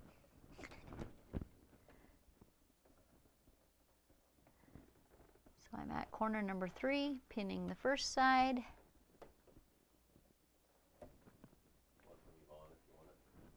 Pinning the second side.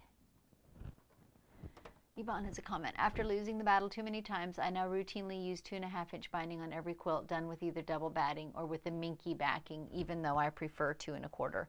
That certainly would be an option. I think, you know, as I said, if I had been really thinking it through, I would have done just a smidge um, narrower seam allowance. I think I mentioned when I was sewing it, I do a, a wide quarter inch, a generous quarter inch, and what I should have done is straight on quarter inch. Um, and I think I would have been okay. But yes, that is certainly an option to just use a little bit more generous cut of binding to avoid the struggle that I'm working with here.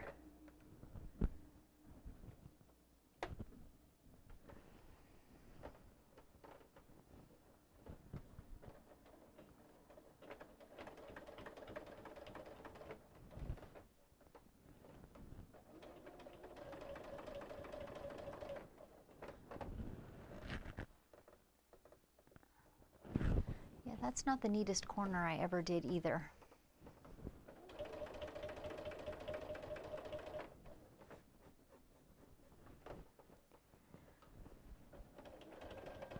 But already this side is going more easily. I must have just had my seam allowance a bit wide on that one side. This is much easier already. It's amazing how just a few threads of width can make the difference between ease and struggle.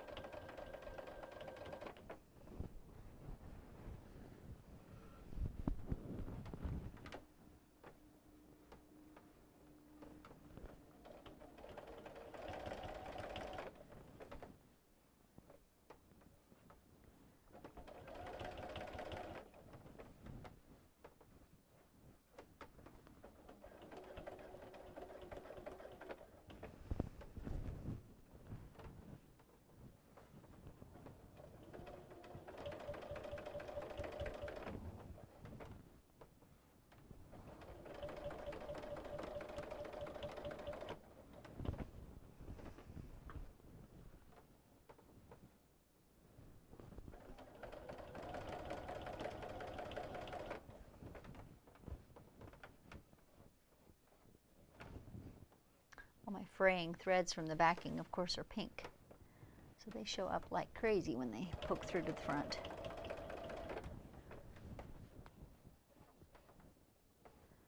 There is a lot of them.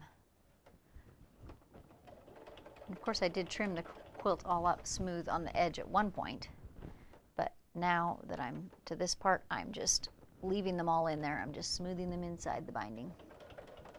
They're not going to hurt anything.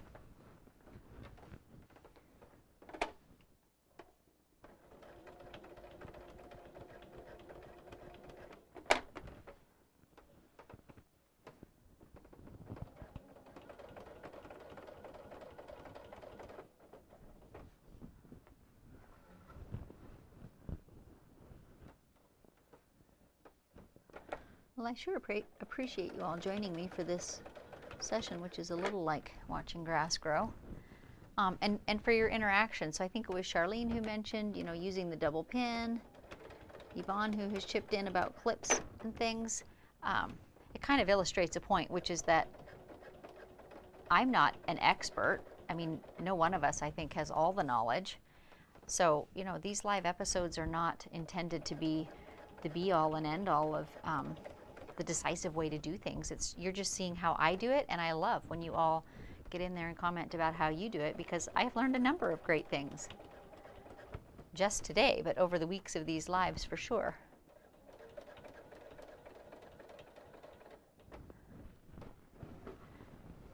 I know I keep referring to the podcast, but it is in, in my mind right now. But something that my sister brought up was that the retreats that we have today are so much like the quilting bees of the past. You know, we grew up in um, kind of an Amish country, and so actual, you know, old fashioned quilting bees were the thing where the women got together all day and brought lunch and quilted all day. And she just, my sister was just remarking that that same feeling of community exists today among quilters and crafters. And we just find our ways. And with COVID, we've found ways of, you know, Zooming and live streaming and things like that. There's always a way to get together and share our knowledge and experience. And I do love that. So thanks so much for chiming in today.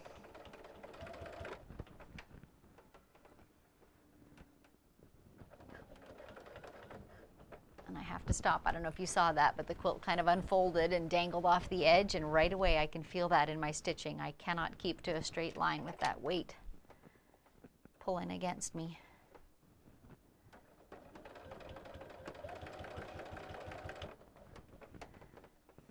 Coming up on corner four.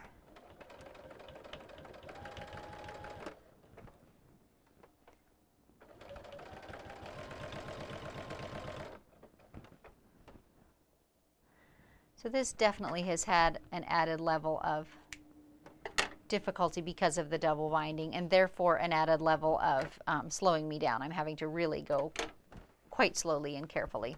Generally, machine bindings do not take this long. I would say I go at at least double this speed as a rule. So if this is feeling to you like, what's the point? You're not saving much time. Um, just know that it is not always this slow and finicky.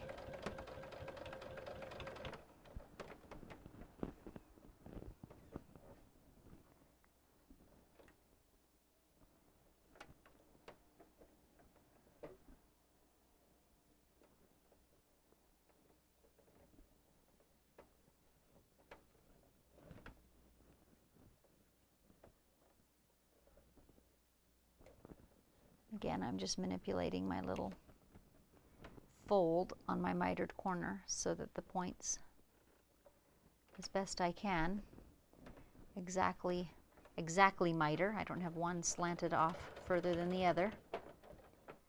That's my goal anyways.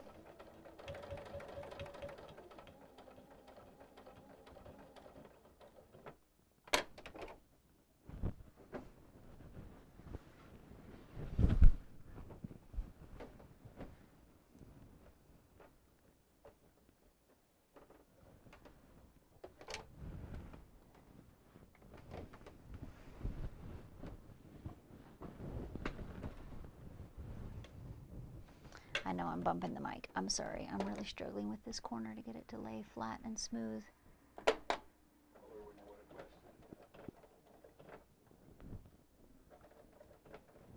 Okay, let's pause for a question or comment or two and I can get me a sip of coffee.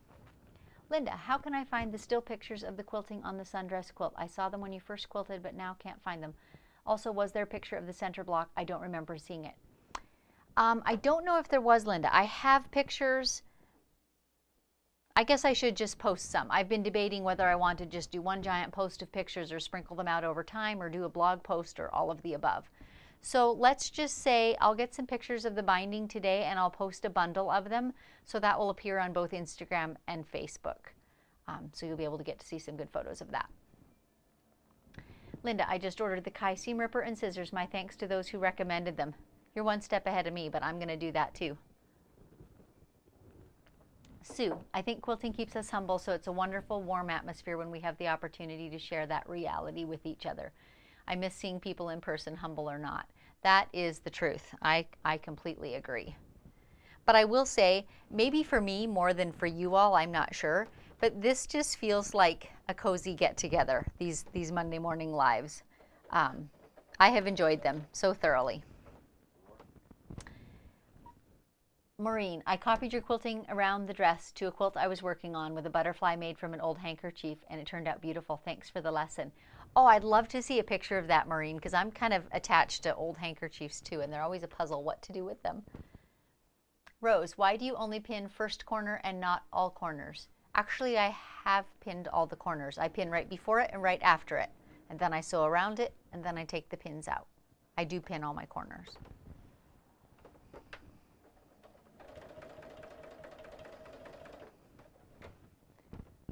That all?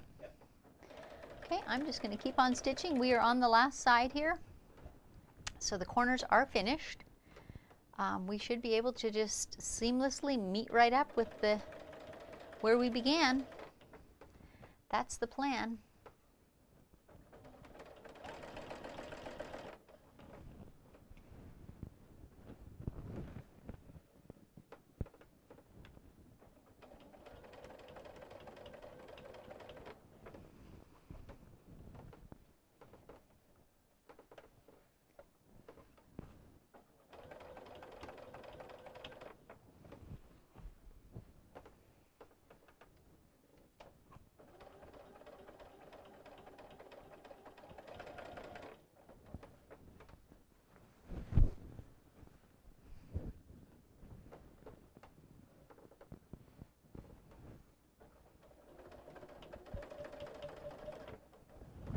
As a little aside for those of you who've been faithful watchers, well, and it might interest those of you who are new too.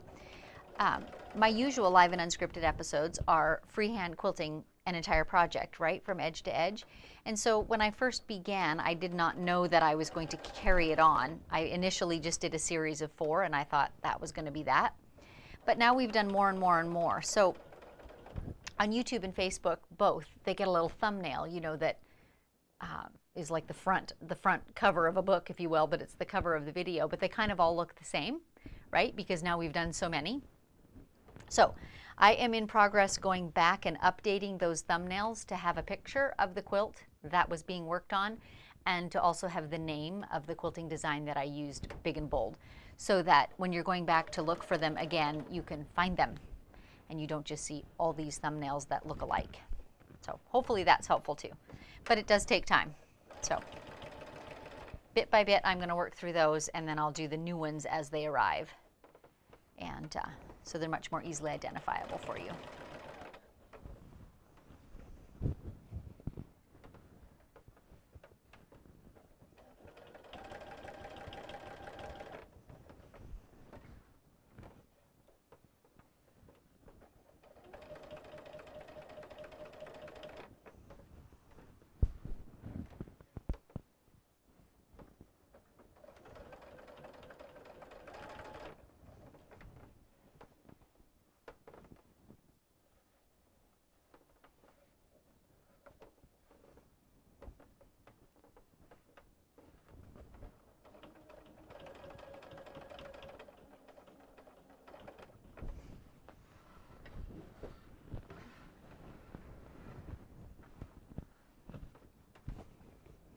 You see this edge here? Can you see all the pink fray?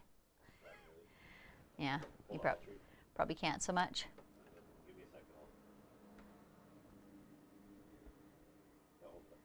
There you go. You can see all the pink frayed threads. That's what I'm just tucking into the binding fold as I go. That's all the backing. It does fray like crazy. At one point when we were talking in the quilting episodes about what to bind with, one of the suggestions was to use the backing, and I did think about that because it's the right color, obviously, it matches with the quilt. But knowing that it frays so badly, I hesitated to add that too to this binding, which is already proving to be challenging. Um, to add a highly fraying fabric is just another thing to deal with. So I opted not to do that because I knew that about that fabric.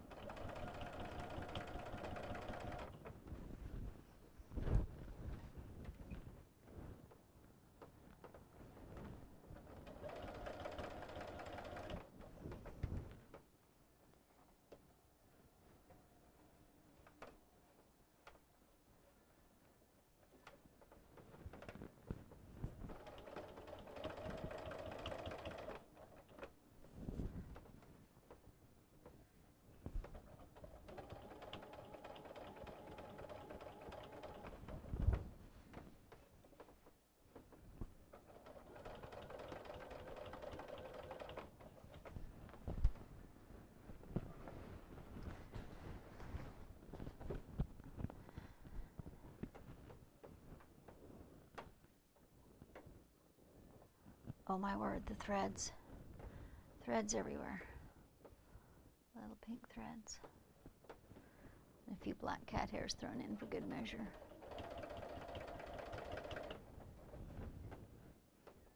Did you guys see the picture of my cat B sitting in my sewing chair last night? A few of you were on live and we uh, are on when we came on live to kind of test this camera location and all of that last night for just a couple of minutes. And of course, he was just right here wanting to know what, what in the world we're doing because we actually shifted um, the positioning of my desk to catch more light and so forth. Anyway, so as soon as I was out of the chair, he was in it. And then I'd have to push him off to sit in it again.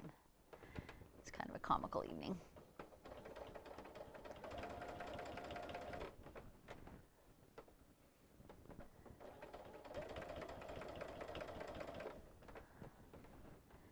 The end is officially in sight. We are on the homeward stretch.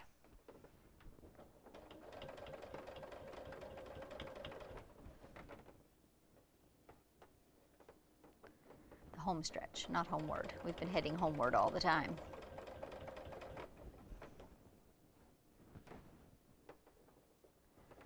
About 12 inches left to go.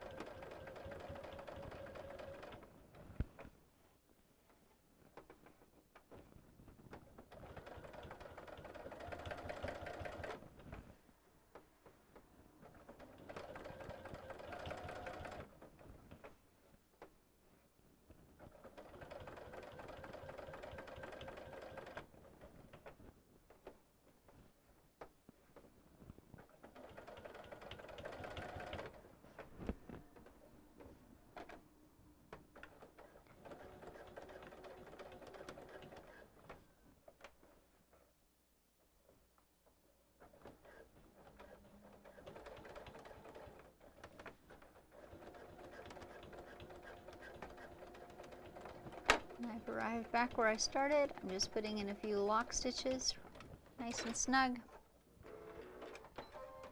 My thread cutter cuts with tails on the back, so I'm just going to go cut those tails. And we are finished. Do you want to, can I put this corner in the camera? Can you see that? See how nice that is from the back? Nice and crisp. I just feel like that is a perfectly acceptable and definitely speedy way of binding a quilt. It is kind of dark, but you get the gist. So I will, let me hold it up for you if Dave wants to put the other camera on for a moment. And then I'll try and get some good photographs today of the quilt as a whole and of the binding in particular. And I'll post a bundle of photos. So here's the whole thing. And I think you can see, even looking at it there, that the binding is nice and smooth on the sides. Very little wavy going on, which is what we wanted. So yay! It is finished. I'll come up closer with the binding so you can see again. This way. There we go. There we go. Now you can see it. Okay, sure. Let's take a few comments before we go. Cindy, fraying fabrics really irritates me. Takes a little time, but I run a fabric glue stick along the edges. That's not a bad idea to keep that under control. I found it reasonably easy to just tuck them all in the binding and now they're all enclosed and it's not a problem. Sue, when you have a fabric that has so many loose threads, do you ever use fray check or similar? I don't usually on my quilts. I suppose I could. I don't. I just tuck them into the binding. Sally, absolutely beautiful. Enjoy having company while I work. Thanks, Dave, for the great camera work. He does do a fantastic job of that. And I appreciate it because this is not a one person job, let me tell you. Donna, absolutely beautiful. Thanks, Donna. And Joan, beautiful. It's been a fun quilt. Yvonne, it's so beautiful. Susan, a quilting victory for sure. Congratulations. It is really fun to get to the the end result finally. It's probably close to two years since I started embroidering the dresses, so it's really fun to see the finished product. Linda, don't forget a label for this fabulous quilt. Oh, that's a jab, Linda. I'm not much of a labeler, but you've pricked me. I, I will make a label for this quilt. I will. Dave's just double checking if he's missed any comments. I'm grabbing my coffee cup. Ah, I think it's time for a few chapters of a good book. What do you think? Here's another comment. Sue Tinsley. Another Susan. There are so many of us Susans quilting. I finished my embroidered quilt top on Saturday. 602,876 stitches in 100 days off and on, but I have no idea how to quilt it with all the embroidery. Well, I don't know, Sue, if you were here for these episodes. I'm going to assume maybe not. Um, I confess I had a difficult time too finding some ideas for how to quilt with embroidery. My usual idea place is Pinterest, and there's not a ton of variety of ideas out there for how to deal with embroidery. So I kind of wung it. But I do know that I had seen other quilters, Natalia Bonner was one in particular, who quilted over the embroidery. Because initially my thinking was, how am I going to quilt those dresses and never cross over those hand embroidered lines? And watching her kind of made me realize, oh, hey, I don't have to not quilt over the embroidered bits. And so I did. So if you watched these episodes, you would have seen me do it. If you didn't get a chance to watch them, they are coming up shortly. I'm hoping next week-ish that we'll be re-releasing them. So there's about 12 or 14 hours of recording, raw recording of the quilting on this project. And so we're kind of condensing that down a little bit, and that's going to be available again for purchase as a lecture. Uh, Sue Rickman asking when the videos will be available to purchase. Oh, and Dave answered you. Dave's editing this week. So now I have a timeline. Yeah. Yeah, I, I, am going to be put a little disclaimer in there for Dave because we're doing that boot camp this week also, Wednesday, Thursday, Friday, Saturday. That's going to take up a lot of time. So I'm going to say it's going to be into next week. So if all goes well, we'll get those out next week. Yvonne, I label all my quilts. It's the first thing my family looks for. I think it makes them feel special. I would love, Yvonne, if you would share some pictures on my Facebook page or if you have Pinterest pins or anything and share them with me. I'd love some ideas.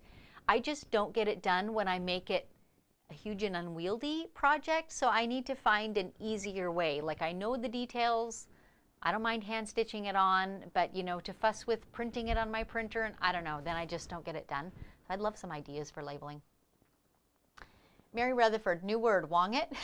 okay, where did the wong it come from? This. Clearly I said that at some point. I'm sorry. See, this does happen when I'm like focusing on sewing, then my tongue does not always stay in gear correctly. Mary is Mary is my sister, by the way, so she, she's allowed to proofread, and, and, and that's okay. Sally, Cindy Needham does great stitching on embroidery and vintage as well. Yes, yes, she absolutely does. There are some great ideas there. She does, I believe, correct me if I'm wrong, but she stitches on a domestic machine. So most of her projects are in a very small scale and very tight quilting, but absolutely gorgeous and a great source for ideas. I agree. Yvonne, in my opinion, the way you approached and quilted your embroidered sections was not only okay, it actually enhanced your special embroidery. That's what I was trying to do, like building, you know, texture and shape into those dresses. That was, that was the goal. And again, I'll post the pictures today. You guys can be the judge, but give me some feedback on that. You know, should I have quilted the dresses more, less, differently?